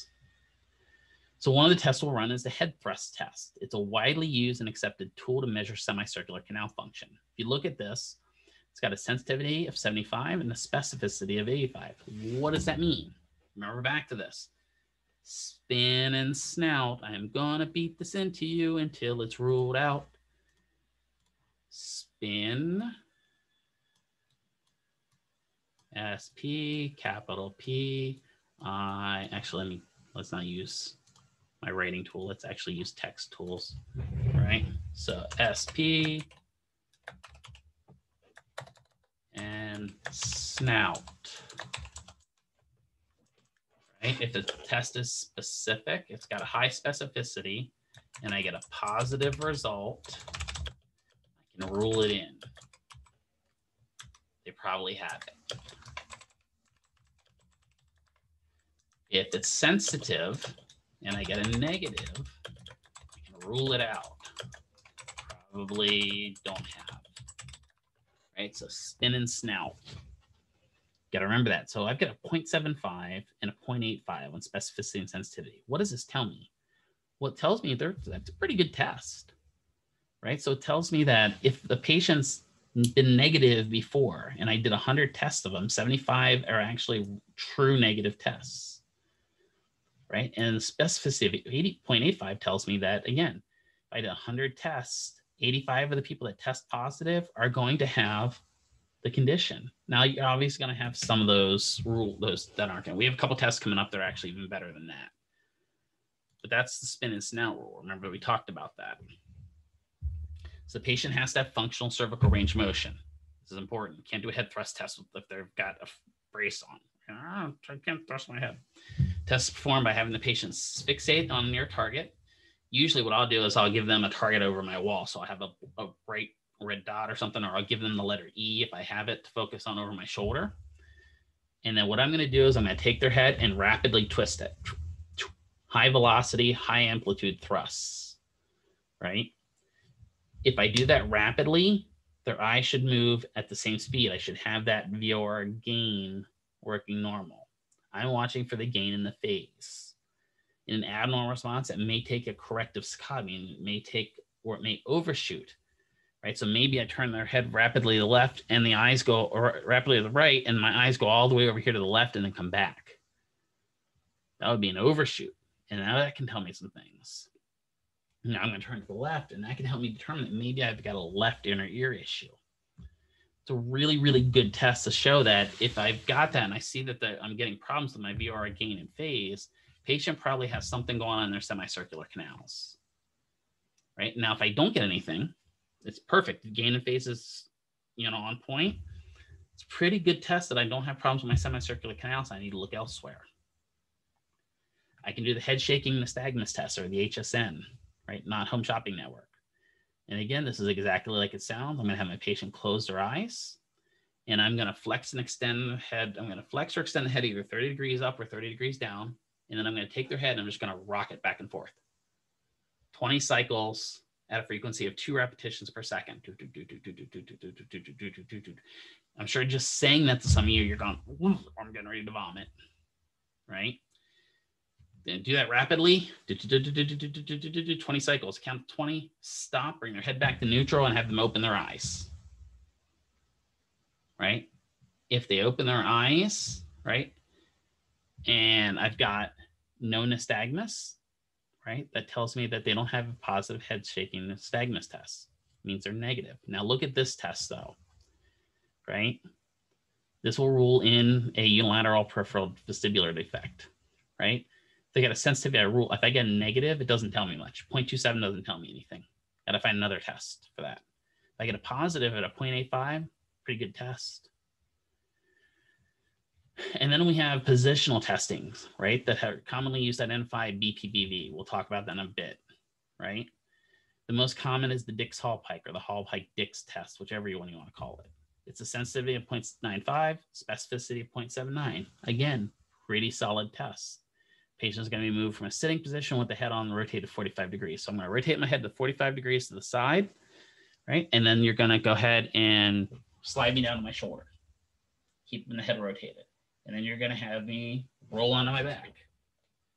And then you're going to have my head extend back off the table, still keeping that 45 degrees. That's testing for a very specific canal. And you're watching for nystagmus in each of those positions. So when you move me 45 degrees, you're looking for nystagmus. When you lay me down on my side rapidly, you're looking for nystagmus. When you have me rolled on my back rapidly, you're looking for nystagmus. When you finally tilt my head back, you're looking for nystagmus. And again, can we perform this? Sure, this actually can be performed by PTAs, but only after the PT's already done it. If you suspect the patient has a vestibular disorder, it doesn't mean you just start pulling out these tests and start doing them. Right? That's not something we can do as PTAs. We can repeat the test to get additional results. But we just can't say, oh, I think this patient's got nystagmus. And I'll talk about a patient towards the end that kind of explains this, right? The dynamic visual acuity test, the measurement of visual acuity during horizontal motion of the head with static visual acuity of determined first. So what I'm going to do is have them stare at a chart and read the eye chart to me, right? And then I'm going to have them do stuff like turning the head to the left. Can you still read the eye chart? Can you still read what you're saying? Positional testing, commonly used, to identify a condition. Now, if I can't read it statically, having me do it dynamically is dumb because that's going to tell you that I've got a problem, right? So you're gonna have me move horizontally. Look at this test. Sensitivity 95, specificity 95. That is a pretty good test, right? This will tell us if one side's worse than the other. It's telling us, do we have that inhibitory cutoff, right? If I'm constantly rotating this side and I can't read, it tells me that I've got some problems, right? Again, we're not going to interpret it. We're just going to report patient had nystagmus. Patient wasn't able to read. Don't care. We don't care why they have it. That's on the PT. Let them figure out the why. We just report what we see. We are not, you're not going to put that, you know, if you do the Dix-Hallpike and the patient has upbeating, you know, geotrophic torsional nystagmus, you're not going to say that patient has upbeating, ge- uh, upbeating geotrophic nystagmus upbeat and torsional geotrophic nystagmus to the left eye, which indicates that the patient has cupulolithiasis in the left semicircular canal of the whatever. No, we are just going to put what we got. Patient had upbeating torsional geotrophic nystagmus, Dunzos on the left side. That's what we would put. So I want to make sure that you guys understand. Even though I'm talking a lot of examination here and I'm talking a lot of diagnosis. We aren't the ones diagnosing it. This is what we're going to see when we look at the eval. Um, gait and balance testing. Table 21.4 and page 930 on your book tells you a bunch of different ones. We have the Romberg, we have the tandem Romberg where you got the feet offset, single leg stance, normalized gait, gait with head rotation. There's that stork test we talked about before. Some vestibular function tests we can run. Caloric testing. If you do caloric testing, I'm going to tell you now. Your, your PT says we're going to run a caloric test on this patient. Get a bucket. This one is the one that is probably the one that I've seen again. So much puke, so much puke.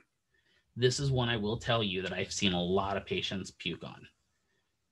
What you're going to do is you're going to fill the uh, external auditory meatus with warm air or warm water or cold air or cold water. It changes the temperature gradient and that ver- therefore changes that convective flow of the endolymph and it can generate nystagmus just from it. It can generate the feeling vertigo. So you're going to have maybe them lay down on their left side and you're going to pour some, not hot water, you don't want to cook the inside of their inner ear, right? But you're going to pour some warm to moderately hot water into their ear. and you're going to have them report their symptoms and you're going to watch for nystagmus. And they're like, all of a sudden, they're like, I'm going to vomit. The room is spinning. Note it down, give them a can, right? Now we put cold water in it and they have no change. That can tell us stuff that can be really beneficial to the PT to determine what might be their root cause. Is it the cupula? Is it the ampulla? Is it the semicircular canals? What's causing it? The rotary chair test, I think, is the meanest one. You guys did this in elementary school and didn't even realize you were doing a physical therapy test. You're going to have the patient sit in a chair in a dark room and you're going to spin around the chair. Right. So a normal vestibular function results from the nystagmus generated by the rotations, meaning your head's going to be, if I'm spinning to the right, my nystagmus is going to go the opposite direction. Right. We can then also measure gain and phase off of it and compare those normal values that we have. Right. So if you spin me to the right and I'm getting nystagmus to the right, you know that something's going on on my left side, probably. Otolith tests, right? There's all kinds of these. There's much more advanced tests. The VEMP, the SVV, the SVH. I'm not going to go over those because those are well above our pay grade, honestly. Now, if you're in a vestibular clinic, you might be experienced in treating these, but there is absolutely no way if your PT says, Did you learn how to do the VEMP in school? Nope. That's not something a general PTA coming out needs to know. I'd be glad to learn it, but that's not something that's specific, right? You know, it's like anything else. You guys are coming out as generalized PTs or PTAs, I'm sorry. You're not expected to know something like spinal mobilizations. Is it neat to learn stuff like that? Sure. Is it within our scope of practice? That's kind of questionable. Right now, if you know, I've been uh, if I've been treating for you know neuro patients or vestibular patients for 20 years, and I've done 50,000 VEMPs, sure, that's within my scope of practice at that point. I, if your PT is okay with it, right? But you're not going to do this as a new grad PT. You've got to kind of learn how to do these things. You got to take those continuing education courses and learn. If you want to, if you want to do some of this cool stuff, you got to learn. So we're going to talk about some PNS pathologies. We can have mechanical and decreased receptor input. Those are the two main things. So mechanical, typically the most common is BPV. We'll go over that's going to be the big one we're going to hit in a few minutes here. The symptoms typically include vertigo with any head movement and is usually brief duration. So they'll say that my symptoms get really bad when I get out of bed. And then as I sit or stand up for a while, it gets better you know, it may have nausea and vomiting, or may have nausea without vomiting, and the general feeling of off balance, right? Uh, I get sick when I roll over on my right side. I get sick when I sit up. I get sick when I stand up. But then it gets better. It's usually a sign that there's a problem with semicircular canals. And it's a mechanical problem with that endolymph. Decreased receptor input means now something's happening with my inner ear. The neurofunction's going down. I can have a unilateral or a bilateral vestibular hypofunction test. Um, I'm never going to have a trilateral vestibular hypofunction test because I don't have three ears. And if I have three ears, that's pretty cool. Have an ear right on your forehead, right? But bilateral vestibular hypofunction test or unilateral hypofunction test, right? Unilateral means one of my ears is messed up. Bilateral means both. Unilaterals usually come from viral insults, trauma, vascular events. We'll talk about them. Symptoms include vertigo, spontaneous nystagmus, meaning it just happens. Oscillopsia with head movement. So if I turn my head, things tend to move in the environment on me. Postural instability and disequilibrium. Bilateral vestibular hypofunction. Both my ears are now messed up. What does that usually cause? Ototoxicity. That's the major one that causes it. it can be CVAs and TIAs as well, right? Um, but ototoxicity is the big one where I get a, an infection like meningitis, bacterial meningitis, and they give me broad spectrum antibiotics. And those broad spectrum antibiotics mess up my inner ear. It's aminoglycoside antibiotics that are the big ones. So any of the ones that ends in the mycins. So kanamycin, gentamicin, gentamicin is the big one. You know, streptomycin, erythromycin. Now, I usually have at least one of you guys, and you're not here to ask me this, but I usually have one of you go, well, you know, I can't take penicillin. So they give me erythromycin. Does that mean I'm going to have my inner ears messed up? No. Right.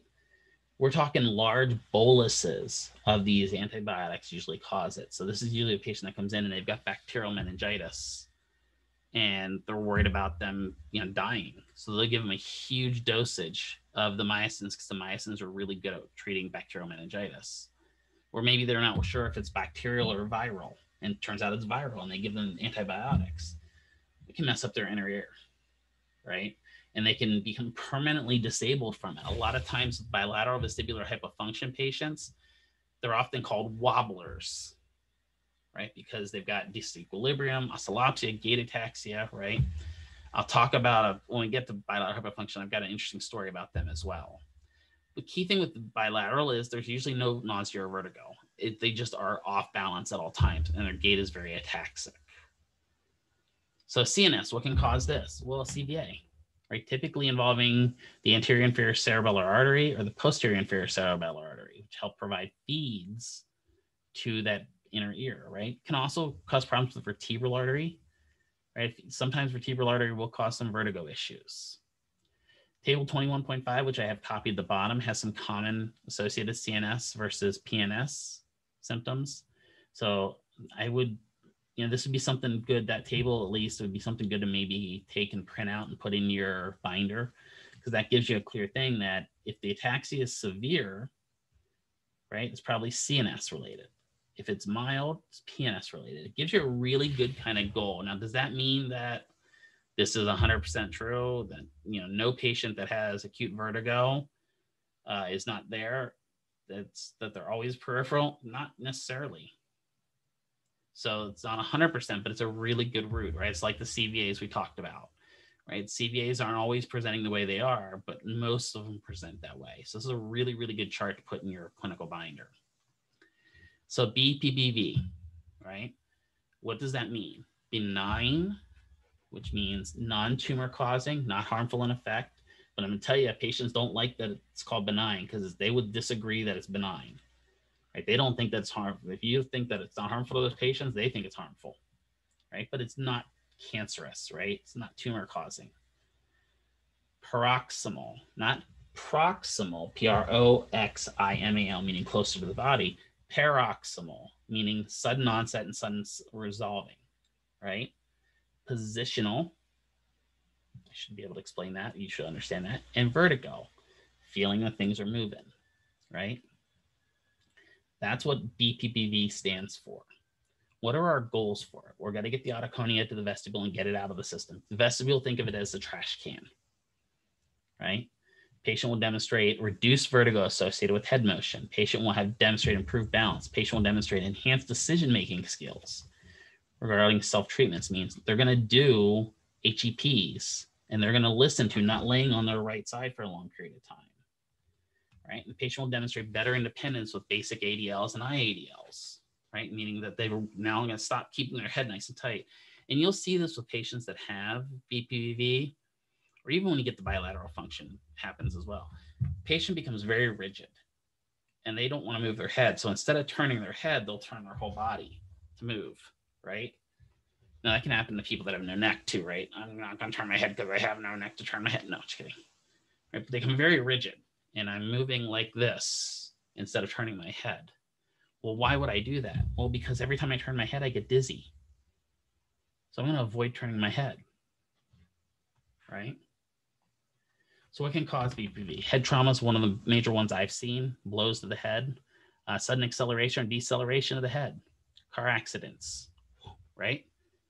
Inner ear disease can cause it, especially if it's degenerative inner ear disease. Labyrinthitis, vestibular neuritis can cause it. Uh, ischemic events, blood flow being cut off. Sometimes it's just idiopathic, right? Meaning we don't know why it happened. Had patients that come in, they've got BPV, we've got a clear sign of BPV and you're like, well, what did you do to cause this? And they're like, I haven't done anything. You know, maybe that they just laid on their left side once and it caused it. It's idiopathic. Meniere's disease, which we'll talk about, is uh, it's also a contraindication, but Meniere's disease can lead to BPPV. Um, bilateral incomplete ototoxicity, meaning that you've had that ototoxicity, but it's not enough to lead to unilateral or bilateral hypofunction stapedectomy, where they go in and remove the stapes. There can be genetic components to BPV. So if you've got a family member, specifically mom, dad, brother, sister, that suffer from BPV, there's some connection to you probably having BPV as well. Um, osteopenia, osteoporosis makes sense if the, especially if the inner ear bones are breaking down or the bony labyrinth. And then prolonged ear dependency, meaning that they laid on one side for a long period of time. Uh, we're starting to see patients coming out of the COVID cycle with BPPV because a lot of them are laying because they're finding it's the best way for the patients to lay. And all those stones are kind of moving away from the vestibule and they're just sitting in there. And then we sit the patient up and they're like, oh my God, I'm vomit. Right? Complaints. Well, bed movement mobility causes it.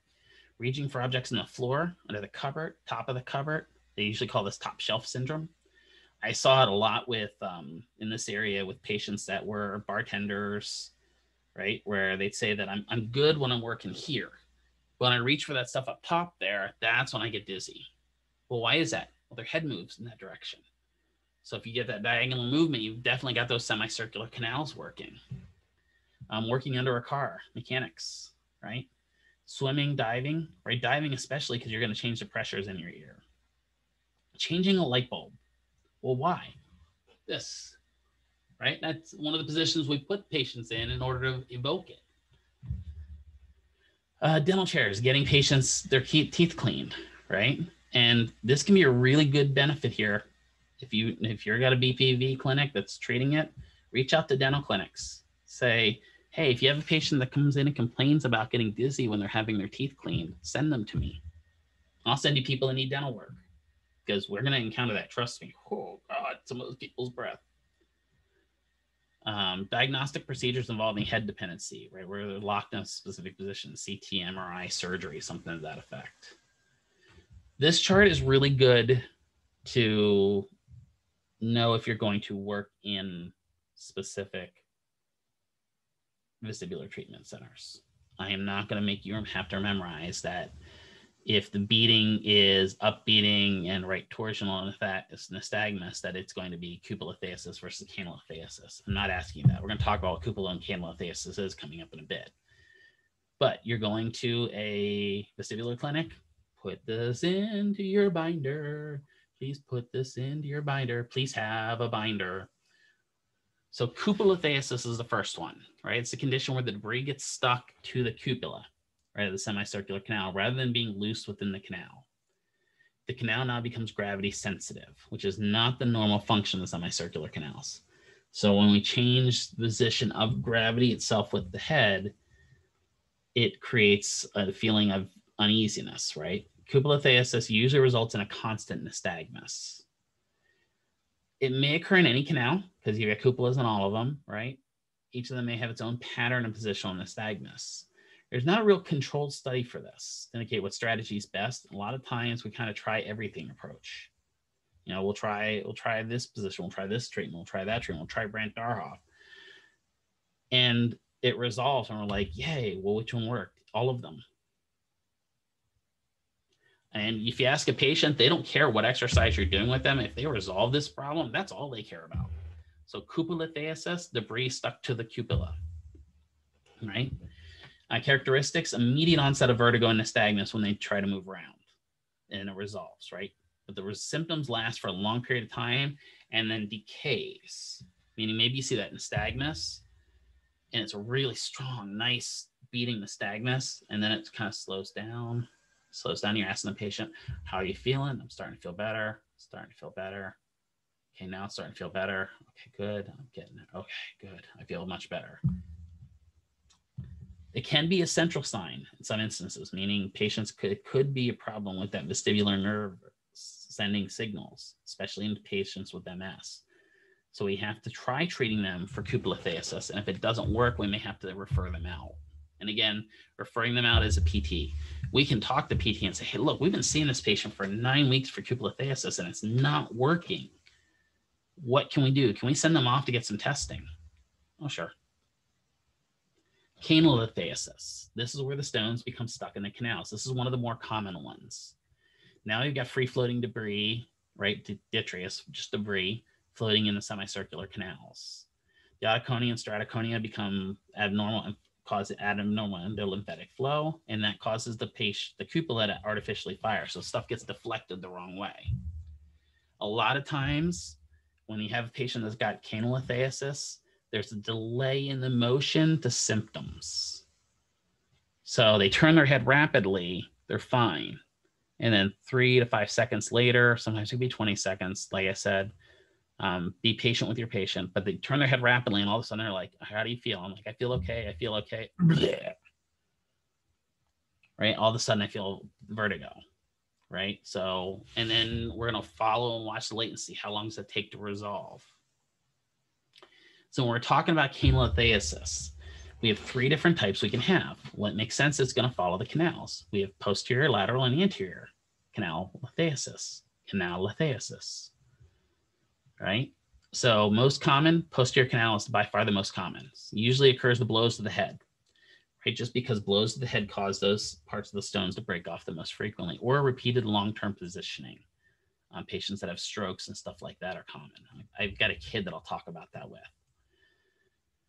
Next most common is lateral, right? And usually lateral happen because of a messed up epley. We're going to talk about the epley or the canalith repositioning maneuver we screw up doing the canalith repositioning maneuver and we move it from a posterior canal into the lateral canal. Well, you'll hear a lot of times when you're talking to PTs and PTAs that work in vestibular about threading the needle.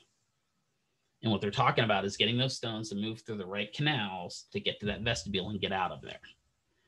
Anterior canals, less common, right? And why is that? Well, because it just doesn't happen very commonly in the anterior canal.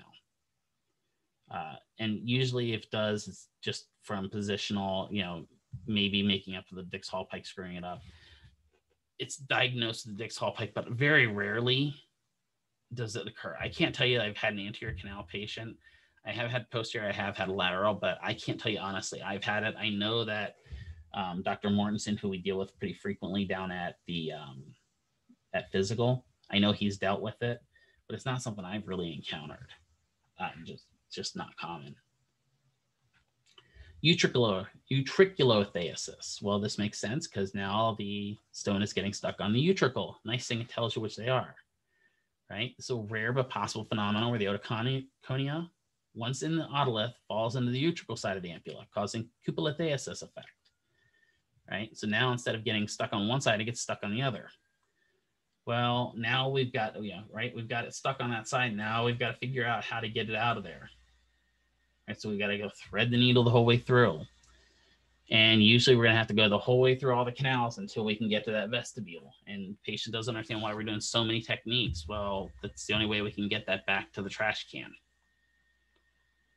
Vestibulolithiasis. This is a theoretical condition where the debris is present on the vestibule side of the cupula rather than being on the canal side, meaning that it's in the trash can, but it's stuck to the trash can. So you can almost think of this like a rim shot you get it to the rim, and for whatever reason, it gets up there on the rim of the basketball and just sits there.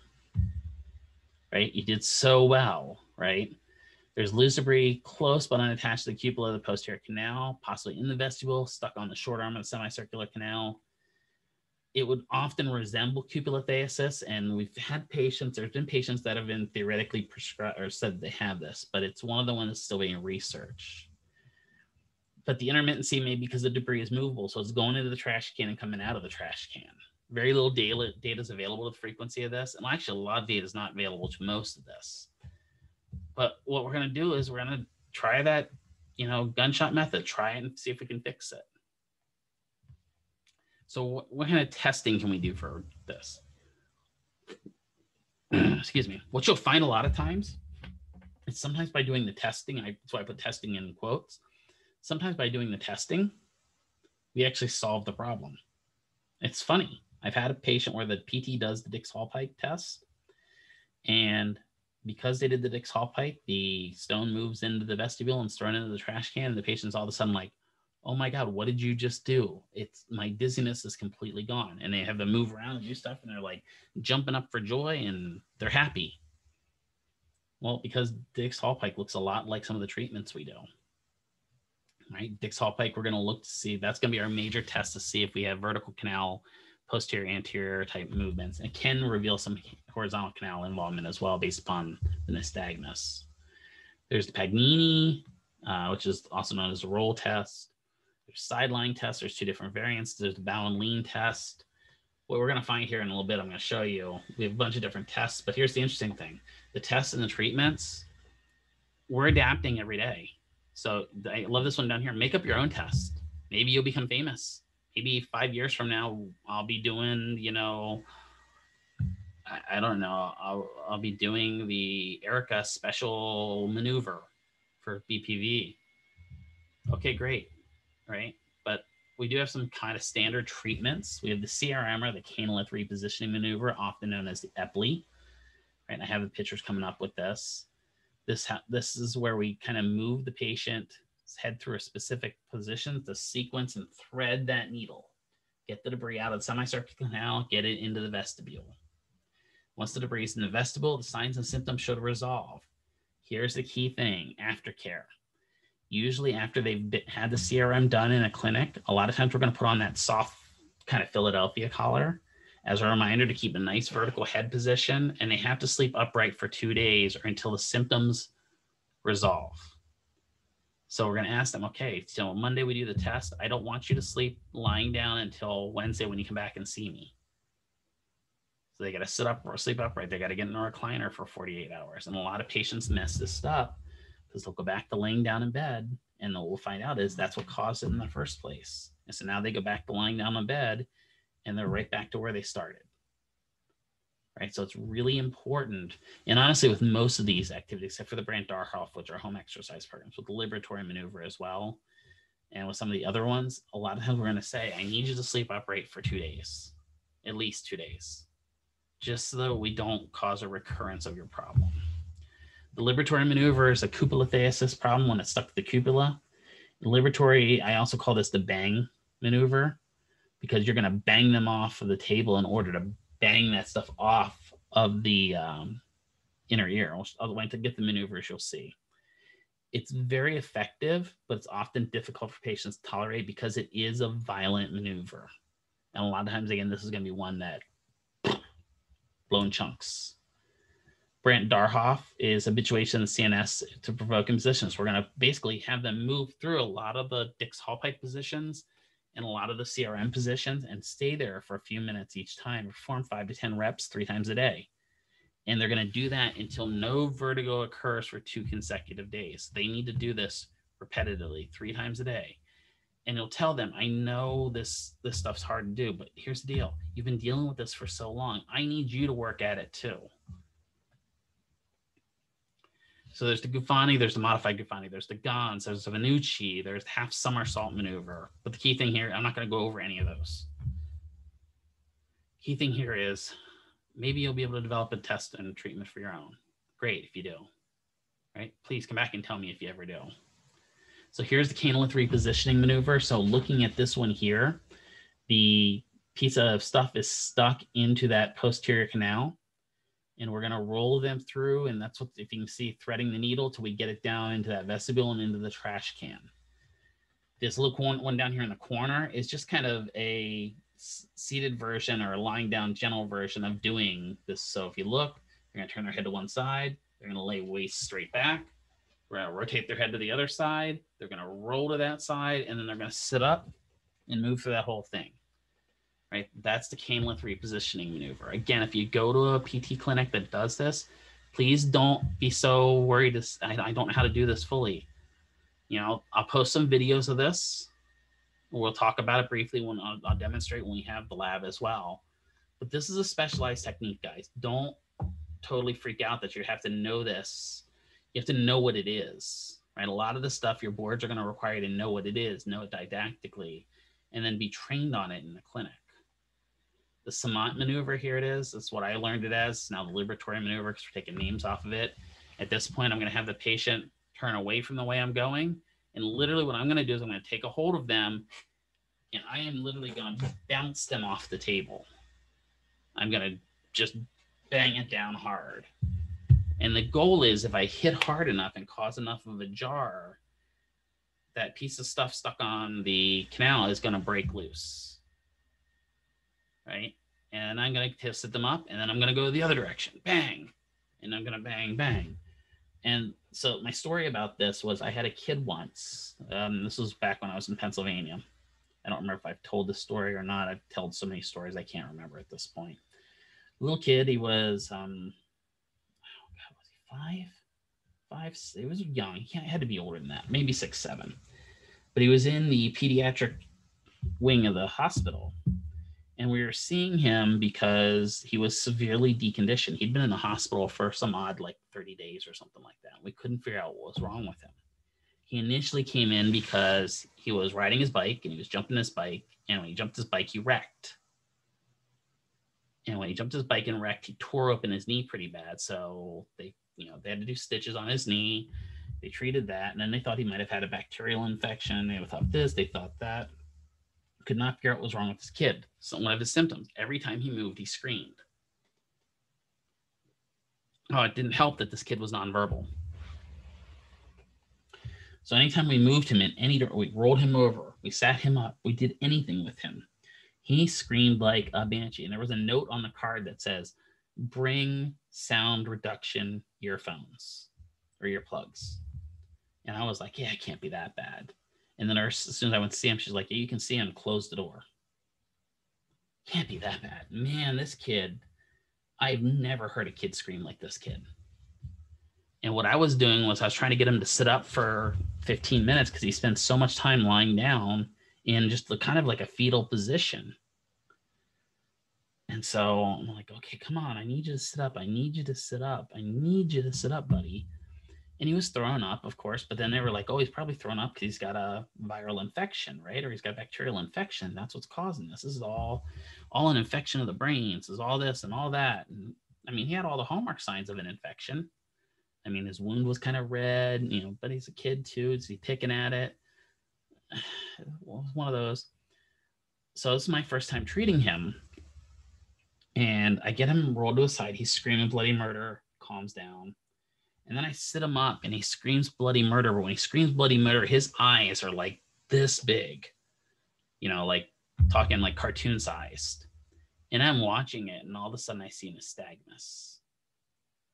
And now, granted, I had not treated a lot of vestibular patients at that point, but I remember back we had a vestibular specialist to come in and said, "Hey, vestibular issues here." Um, and the way his nystagmus went, it was definitely cupulolithiasis. And I'm like, "Oh, oh, did I just did I just solve this? It'd be really cool if I did." And then I'm like, "Okay, well, I want to try doing the Semont on him."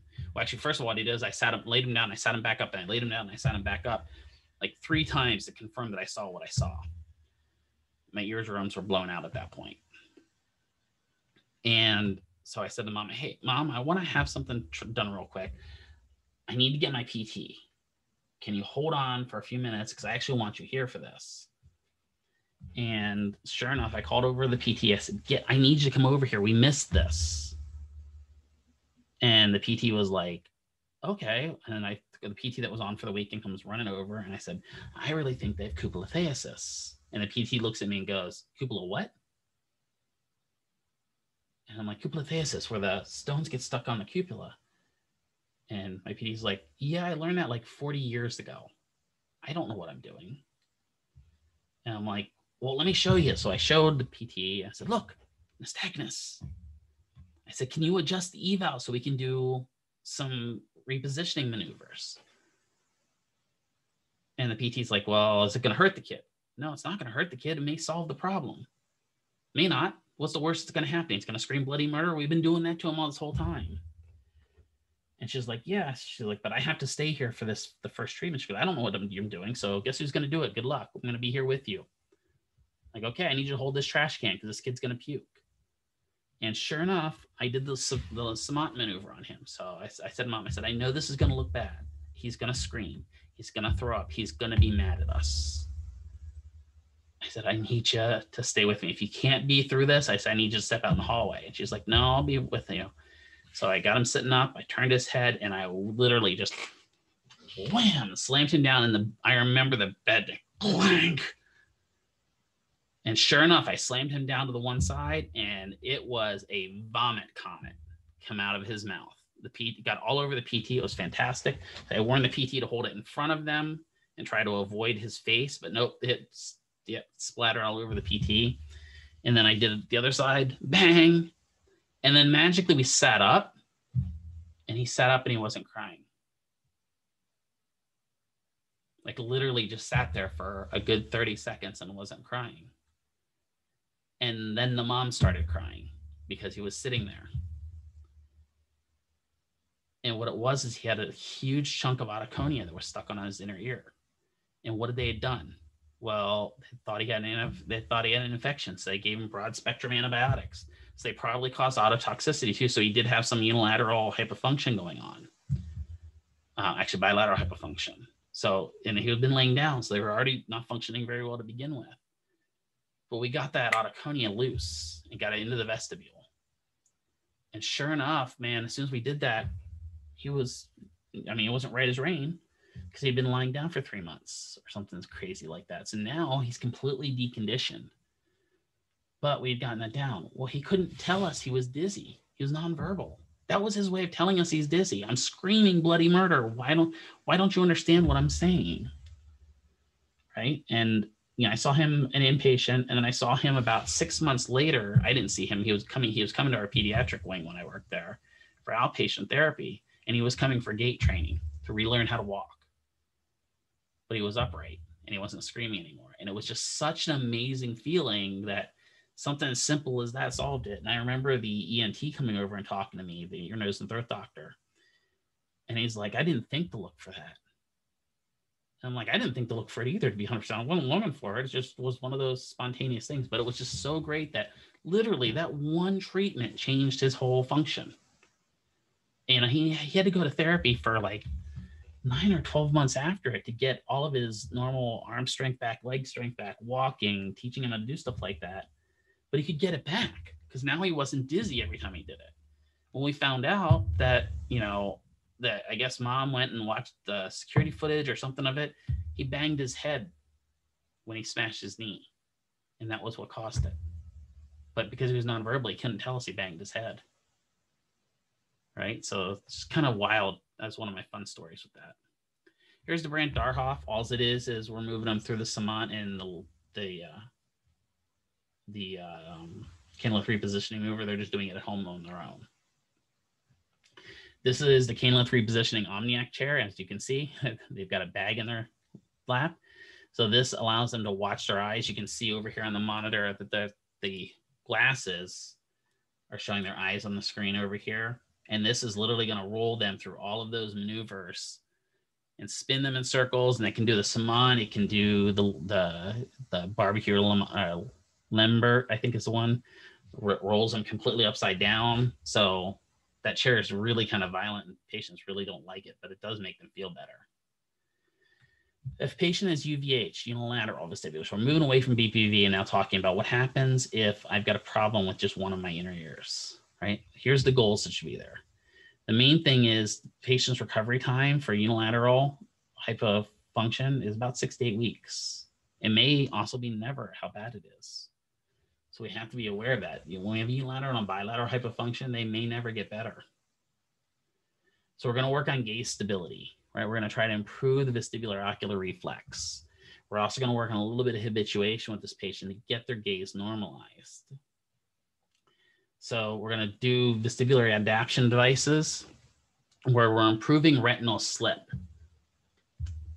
meaning the motion of that eye, the visual image on the retina and we usually use paradigms. We have two primary paradigms and a third paradigm as well with the VOR exercises. So we have VOR1. VOR1, you're going to take one object, they're going to focus on it, right? The head is moved either horizontally, vertically, or diagonally as quickly as possible, as long as the patient can maintain focus and their eyes don't leave the object. So we're going to start really small, right? Slower, large amplitude motions first right?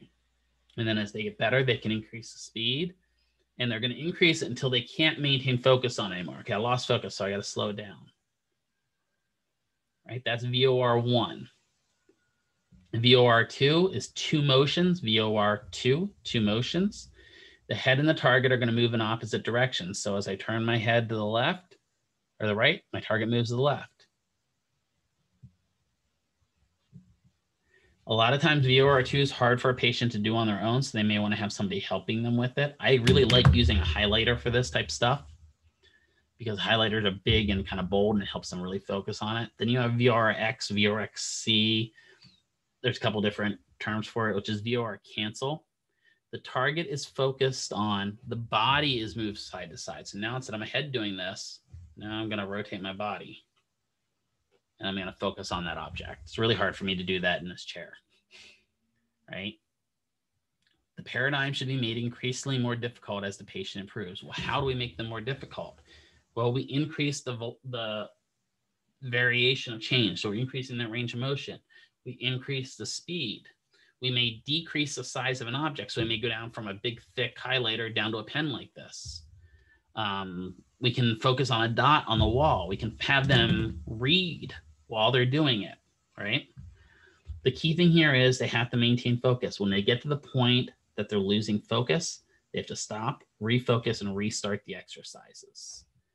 Um, if you're somebody that already has some issues with kind of, you know, you get dizzy when you're moving stuff, maybe you try this. See if doing these a couple times, if over time it gets your dizziness better, right? I'm not going to diagnose you. I'm not treating you, right?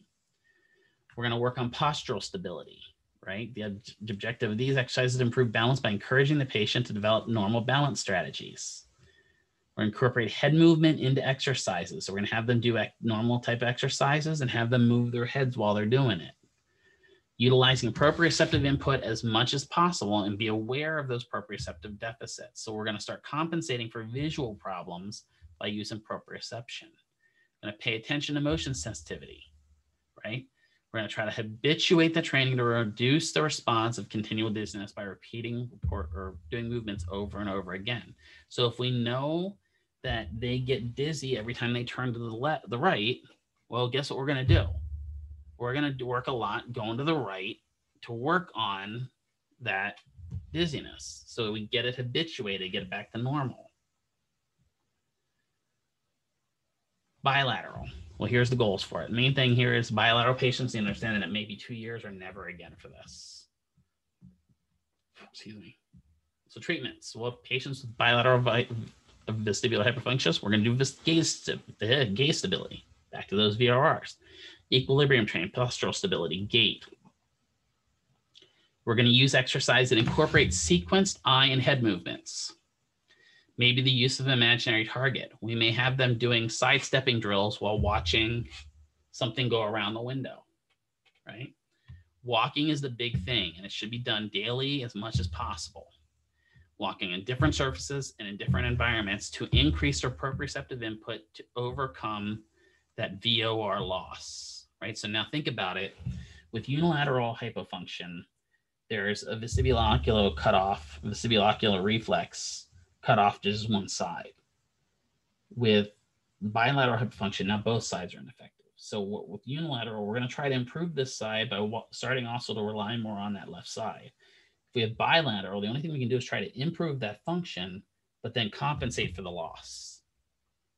Tai Chi is great for this. Exercises in water. Water training for patients that have bilateral vestibular hyperfunction is really big because if they fall, they just kind of fall into the water. Hopefully they can swim, right? We're going to work on adaptation exercises. Walking in the dark is big. Night driving, right? Sports requiring quick movements of the head may be limited when there is, right? If you get somebody that's got bilateral hyperfunction, you know, playing dodgeball may not be the best option for them. All right, central vestibular hypofunction, meaning that we're starting to have a problem with the transmission from the vestibular system to the central nervous system. Main things we're going to work on is fall prevention because they're going to fall and work on safety precaution. We may have to give them assistive devices, teach compensatory training, right? Patient will be independent of performing their HEPs, which includes walking. Treatment may be chosen by an accurate diagnosis. If we have central vestibular hypofunction, this is one that's going to take some time to diagnose right. And it, this one may be one that's, again, may be incomplete. But the vestibular rehabilitation program offers a promise for treating patients with this, right? The idea here with that kind of the cutoff between the brain and the vestibular system is can we compensate for it and teach them how to habituate, get back to a level where they can actually invite, work in the environment. Um, bilateral hypofunction I mentioned before was wobbler syndrome, right? Because that the ears are not spiking like they should, right? There was a whole article, and again, I, I've talked about this book, but the brain that changes itself, right? There's a whole group of people from I think the early 80s that were called the wobblers because they were given mass doses. That you know, we used to give antibiotics out like candy, and it burn out their vestibular systems. Um, and this one guy was developing a technique where instead of relying on their inner ears for balance, they relied on their tongue. Say this little electrode in their tongue that when they tilted their head, because when they tilted their head, it changed the shape of their mouth, the tongue would fire on that side and it would tell them they have to tilt their head back to the center. And then they would fire and would tell them. And what they found was the person started compensating for balance by using their tongue. And so they started giving these patients a treatment and it would improve them for short periods of time. So they'd do the treatment and then maybe for a couple hours afterwards, they'd be good for balance. They didn't have to keep the electrode on their tongue any longer for a couple hours afterwards. What they found is the more and more these people came for it, the longer that treatment lasted. It was really wild. We had latent pathways in their brain that allowed them to now use their tongue for balance. Just again, that's neuroplasticity is just so cool to me. Right? Uh, they may complain of dizziness starting off with habituation exercises, but just remember if they start complaining we got to back off a little bit because if we go too aggressive, we'll aggravate their condition and we don't want to do that. And we're going to incorporate gait and balance exercises, working on somatosensory techniques. So walking on different feeling devices, maybe putting different shoes on, heavier shoes, lighter shoes, changing the way they look at things, maybe giving them glasses that knock out certain colors, right? Maybe giving them dark glasses when it's daylight out to see what happens with their vision. So other diagnoses that may involve the vestibular system. We talked about Meniere's. Meniere's is a low frequency hearing loss and episodic episodic vertigo issue. The patient may complain of a sense of fullness in the ear and tinnitus, ringing in their ears. This is a problem where they again we're starting to go towards that unilateral bilateral hypofunction. Right, there's an infection in their ear and it's affecting their whole inner ear. Uh, may be caused by those aminoglycoside antibiotics, gentamicin, streptomycin, right? Here's the deal. If you have a patient starts complaining about oh my god feels my i've got pressure in my ear and i've got ringing stop treatment. That is a contraindication. Get the pt that means they probably are positive for Meniere's. Perilymphatic fistula is a rupture of the oval or round windows of the ear right? The membranes that separate the middle and the inner ear out. The result is usually vertigo with hearing loss. So if you have a patient that's talks about i just can't hear out of my left ear that may be a perilymphatic fistula, and they may have to go in and look at it from the ear, nose, and throat specialist. Acoustic neuroma or vestibular schwannoma is a benign tumor located on the cranial nerve, and it'll include complaints of progressive hearing loss, tinnitus, and disequilibrium. They have an acoustic neuroma. There's not much we're going to be able to do. We're probably going to still see them, but we're going to work on habituation. If they've got problems when they lean to the right, well, guess what we're going to do? Working a lot of lean to the right and safety lean to the right. We're going to habituate them. Vestibular neuritis is the second most common disorder of the vestibular system, second only to BPPV. It's inflammation of the vestibular nerve, vestibular nerve neuritis. The condition chiefly affects adults between the ages of 20 or 30 and 50 without preference for sex. Um, the attacks are often spontaneous vertigo lasting hours to days to slowly taper off to persistent imbalance. It's a viral insult to the vestibulocochlear nerve, usually preceded by an upper respiratory infection, a URI. Well, why would this be? So if I get a respiratory infection in this, my mouth, nose, and pharynx region, how could that affect my inner ear? Well, I've got the eustachian tube. Right now, eustachian tube, that virus can creep and just do, do, do, I'm going to take a vacation up here in the inner ear, right? And a lot of times, what it is is the URI triggers a latent HSV infection. So HSV loves to hide in places and canals in our body, herpes simplex virus, right? And it will hide back in your inner ear until you've got another kick up of another virus, and then it'll come out to play. and you go vestibular neuritis, right? By age 25, remember we talked about this briefly, 60% of the population has herpes. By age 70, we're at 90%. Right. So right now, for if we looked in our classroom right now, you know, we're talking probably easily 70% of you guys have herpes in some way, shape, or form. Right? If you've had chicken pox, you've had herpes. So a lot of times with vestibular neuritis, they're going to do treatments of steroids, methylprednisone. And why are we going to do this? Because in acute cases, it helps. The problem is inflammation. So if we can pop down on that inflammation and get rid of that inflammation, that helps. Um, this person did not take their meds right. is day one they're supposed to take all of those meds. Then day two they take the second dose, like day three, and they just taper down. You don't have to know the doses. Don't worry about that. Right? Just don't don't freak out about that. What you do have to kind of know is that methylprednisone can be used to treat any itis that we have in the body, right? It's a prednisone, it's there to treat it. But again, we know also from patho that too much steroids can cause other problems, right? Labyrinthine concussion is usually a trauma as the underlying cause, and you don't necessarily have to have a loss of con- consciousness. It's usually a direct blow to the head and can be a tearing or twisting of the vestibular nerve. Um, blast injuries are really common to cause labyrinthine concussions. Um, rotational and linear devices, right? Some some surveys or some studies do show that nerve fibers are really torn away, and so you lose certain ones of your um, kinocilia and stereocilia.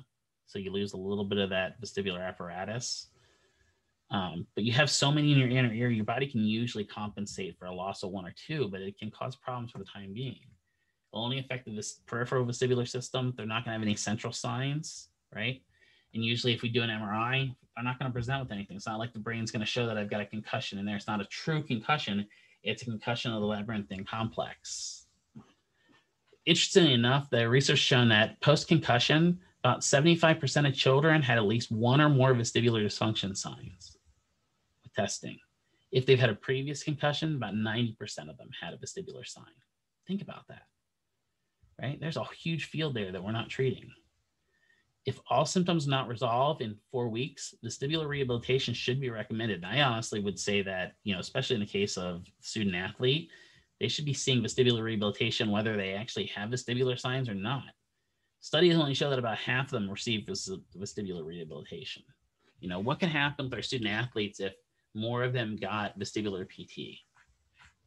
Just saying, there's a market there. Motion sickness. Some of you probably get this. This is a sensory conflict issue. My ex-wife got this really bad.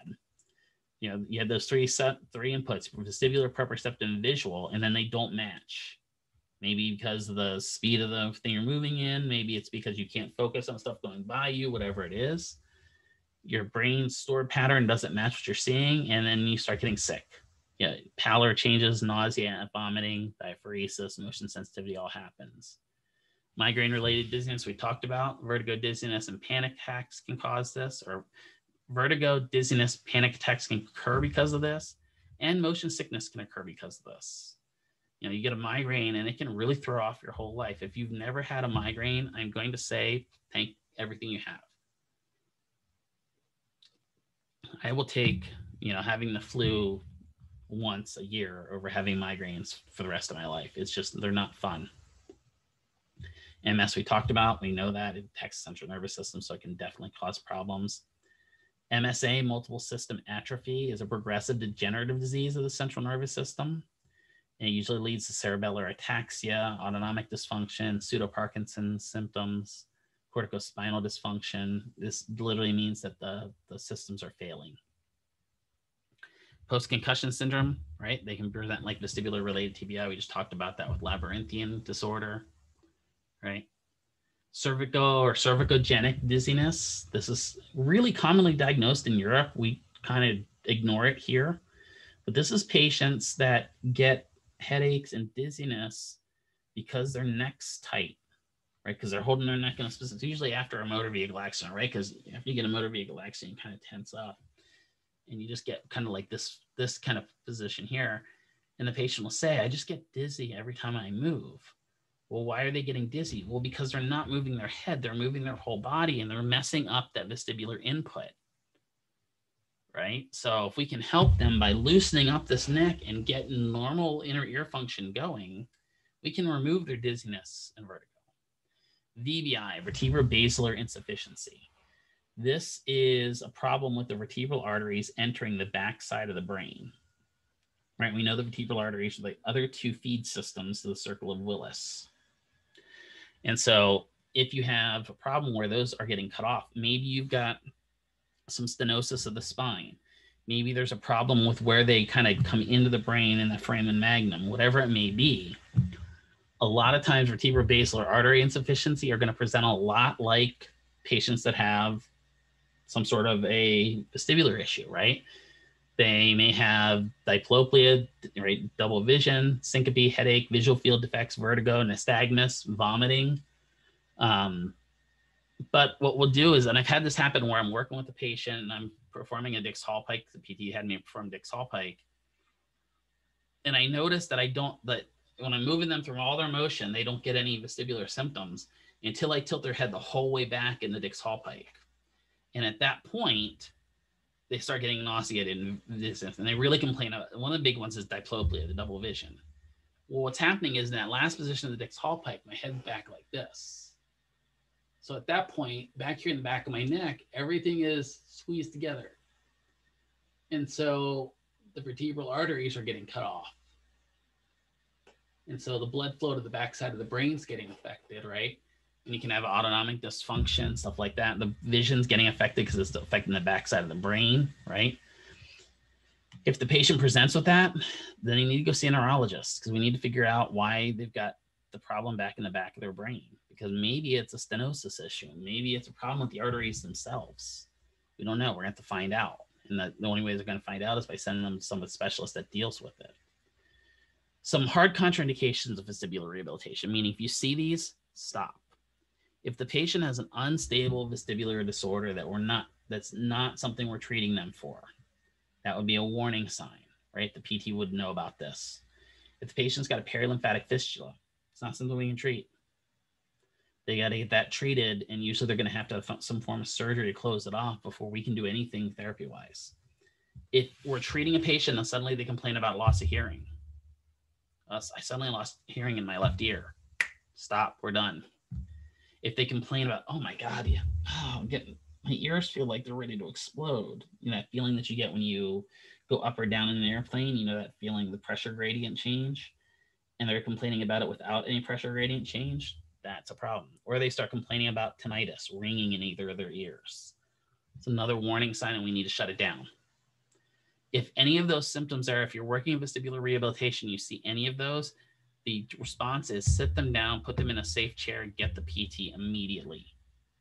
Um, if you suspect that a patient has VBI, vertebral basilar artery insufficiency, and you you know you, you think that they have it, it's another one. Stop your treatment, put them in a chair, put them you know upright in a bed however you have to do it that they're safe and then go get the pt and tell them what you've kind of encountered it is better to err on the side of caution and tell the pt more frequently than it is in the case of vestibular patients and it's oh no that didn't happen you know the increased pressure in their ears yeah he was just faking it better to let your pt know about it because vestibular functions or vestibular disorders are not something you want to mess around with if you're not specifically treating them all right, so that's it for this lecture. Finally, it actually went the whole way through. All right, camera focus. Thank you. I'm gonna stop moving so it doesn't focus anymore on me. So that's it for this lecture. Um, I think it was a good two, three hours long at this point. I don't even know. I feel like I've been talking to this computer without moving for several hours. If you have any questions, please email me. Um, I apologize. I had to make this asynchronous. I have an appointment I have to go to tomorrow. So if you have any questions, please email me right away. Uh, like I said, by tomorrow, you already have the quiz up. By tomorrow, you'll have your final up as well. I'm hoping by, let's say by four tomorrow, you should have the final up. I've got it done. I just have to post it. Um, and you should have almost all your grades posted. There are a few of that I'm still waiting on grades for. Please send those grades in. But other than that, this has been your vestibular lecture. We'll do some stuff when we actually get to lab. I will let you know what the status of lab is next week, hopefully by tomorrow as well, or today, I guess, at this point. I won't even tell you what time this is that I'm recording this. So I hope you guys have a good rest of your day. I will catch you on the flip side. This is Mr. McKeever signing off, and let's get dizzy.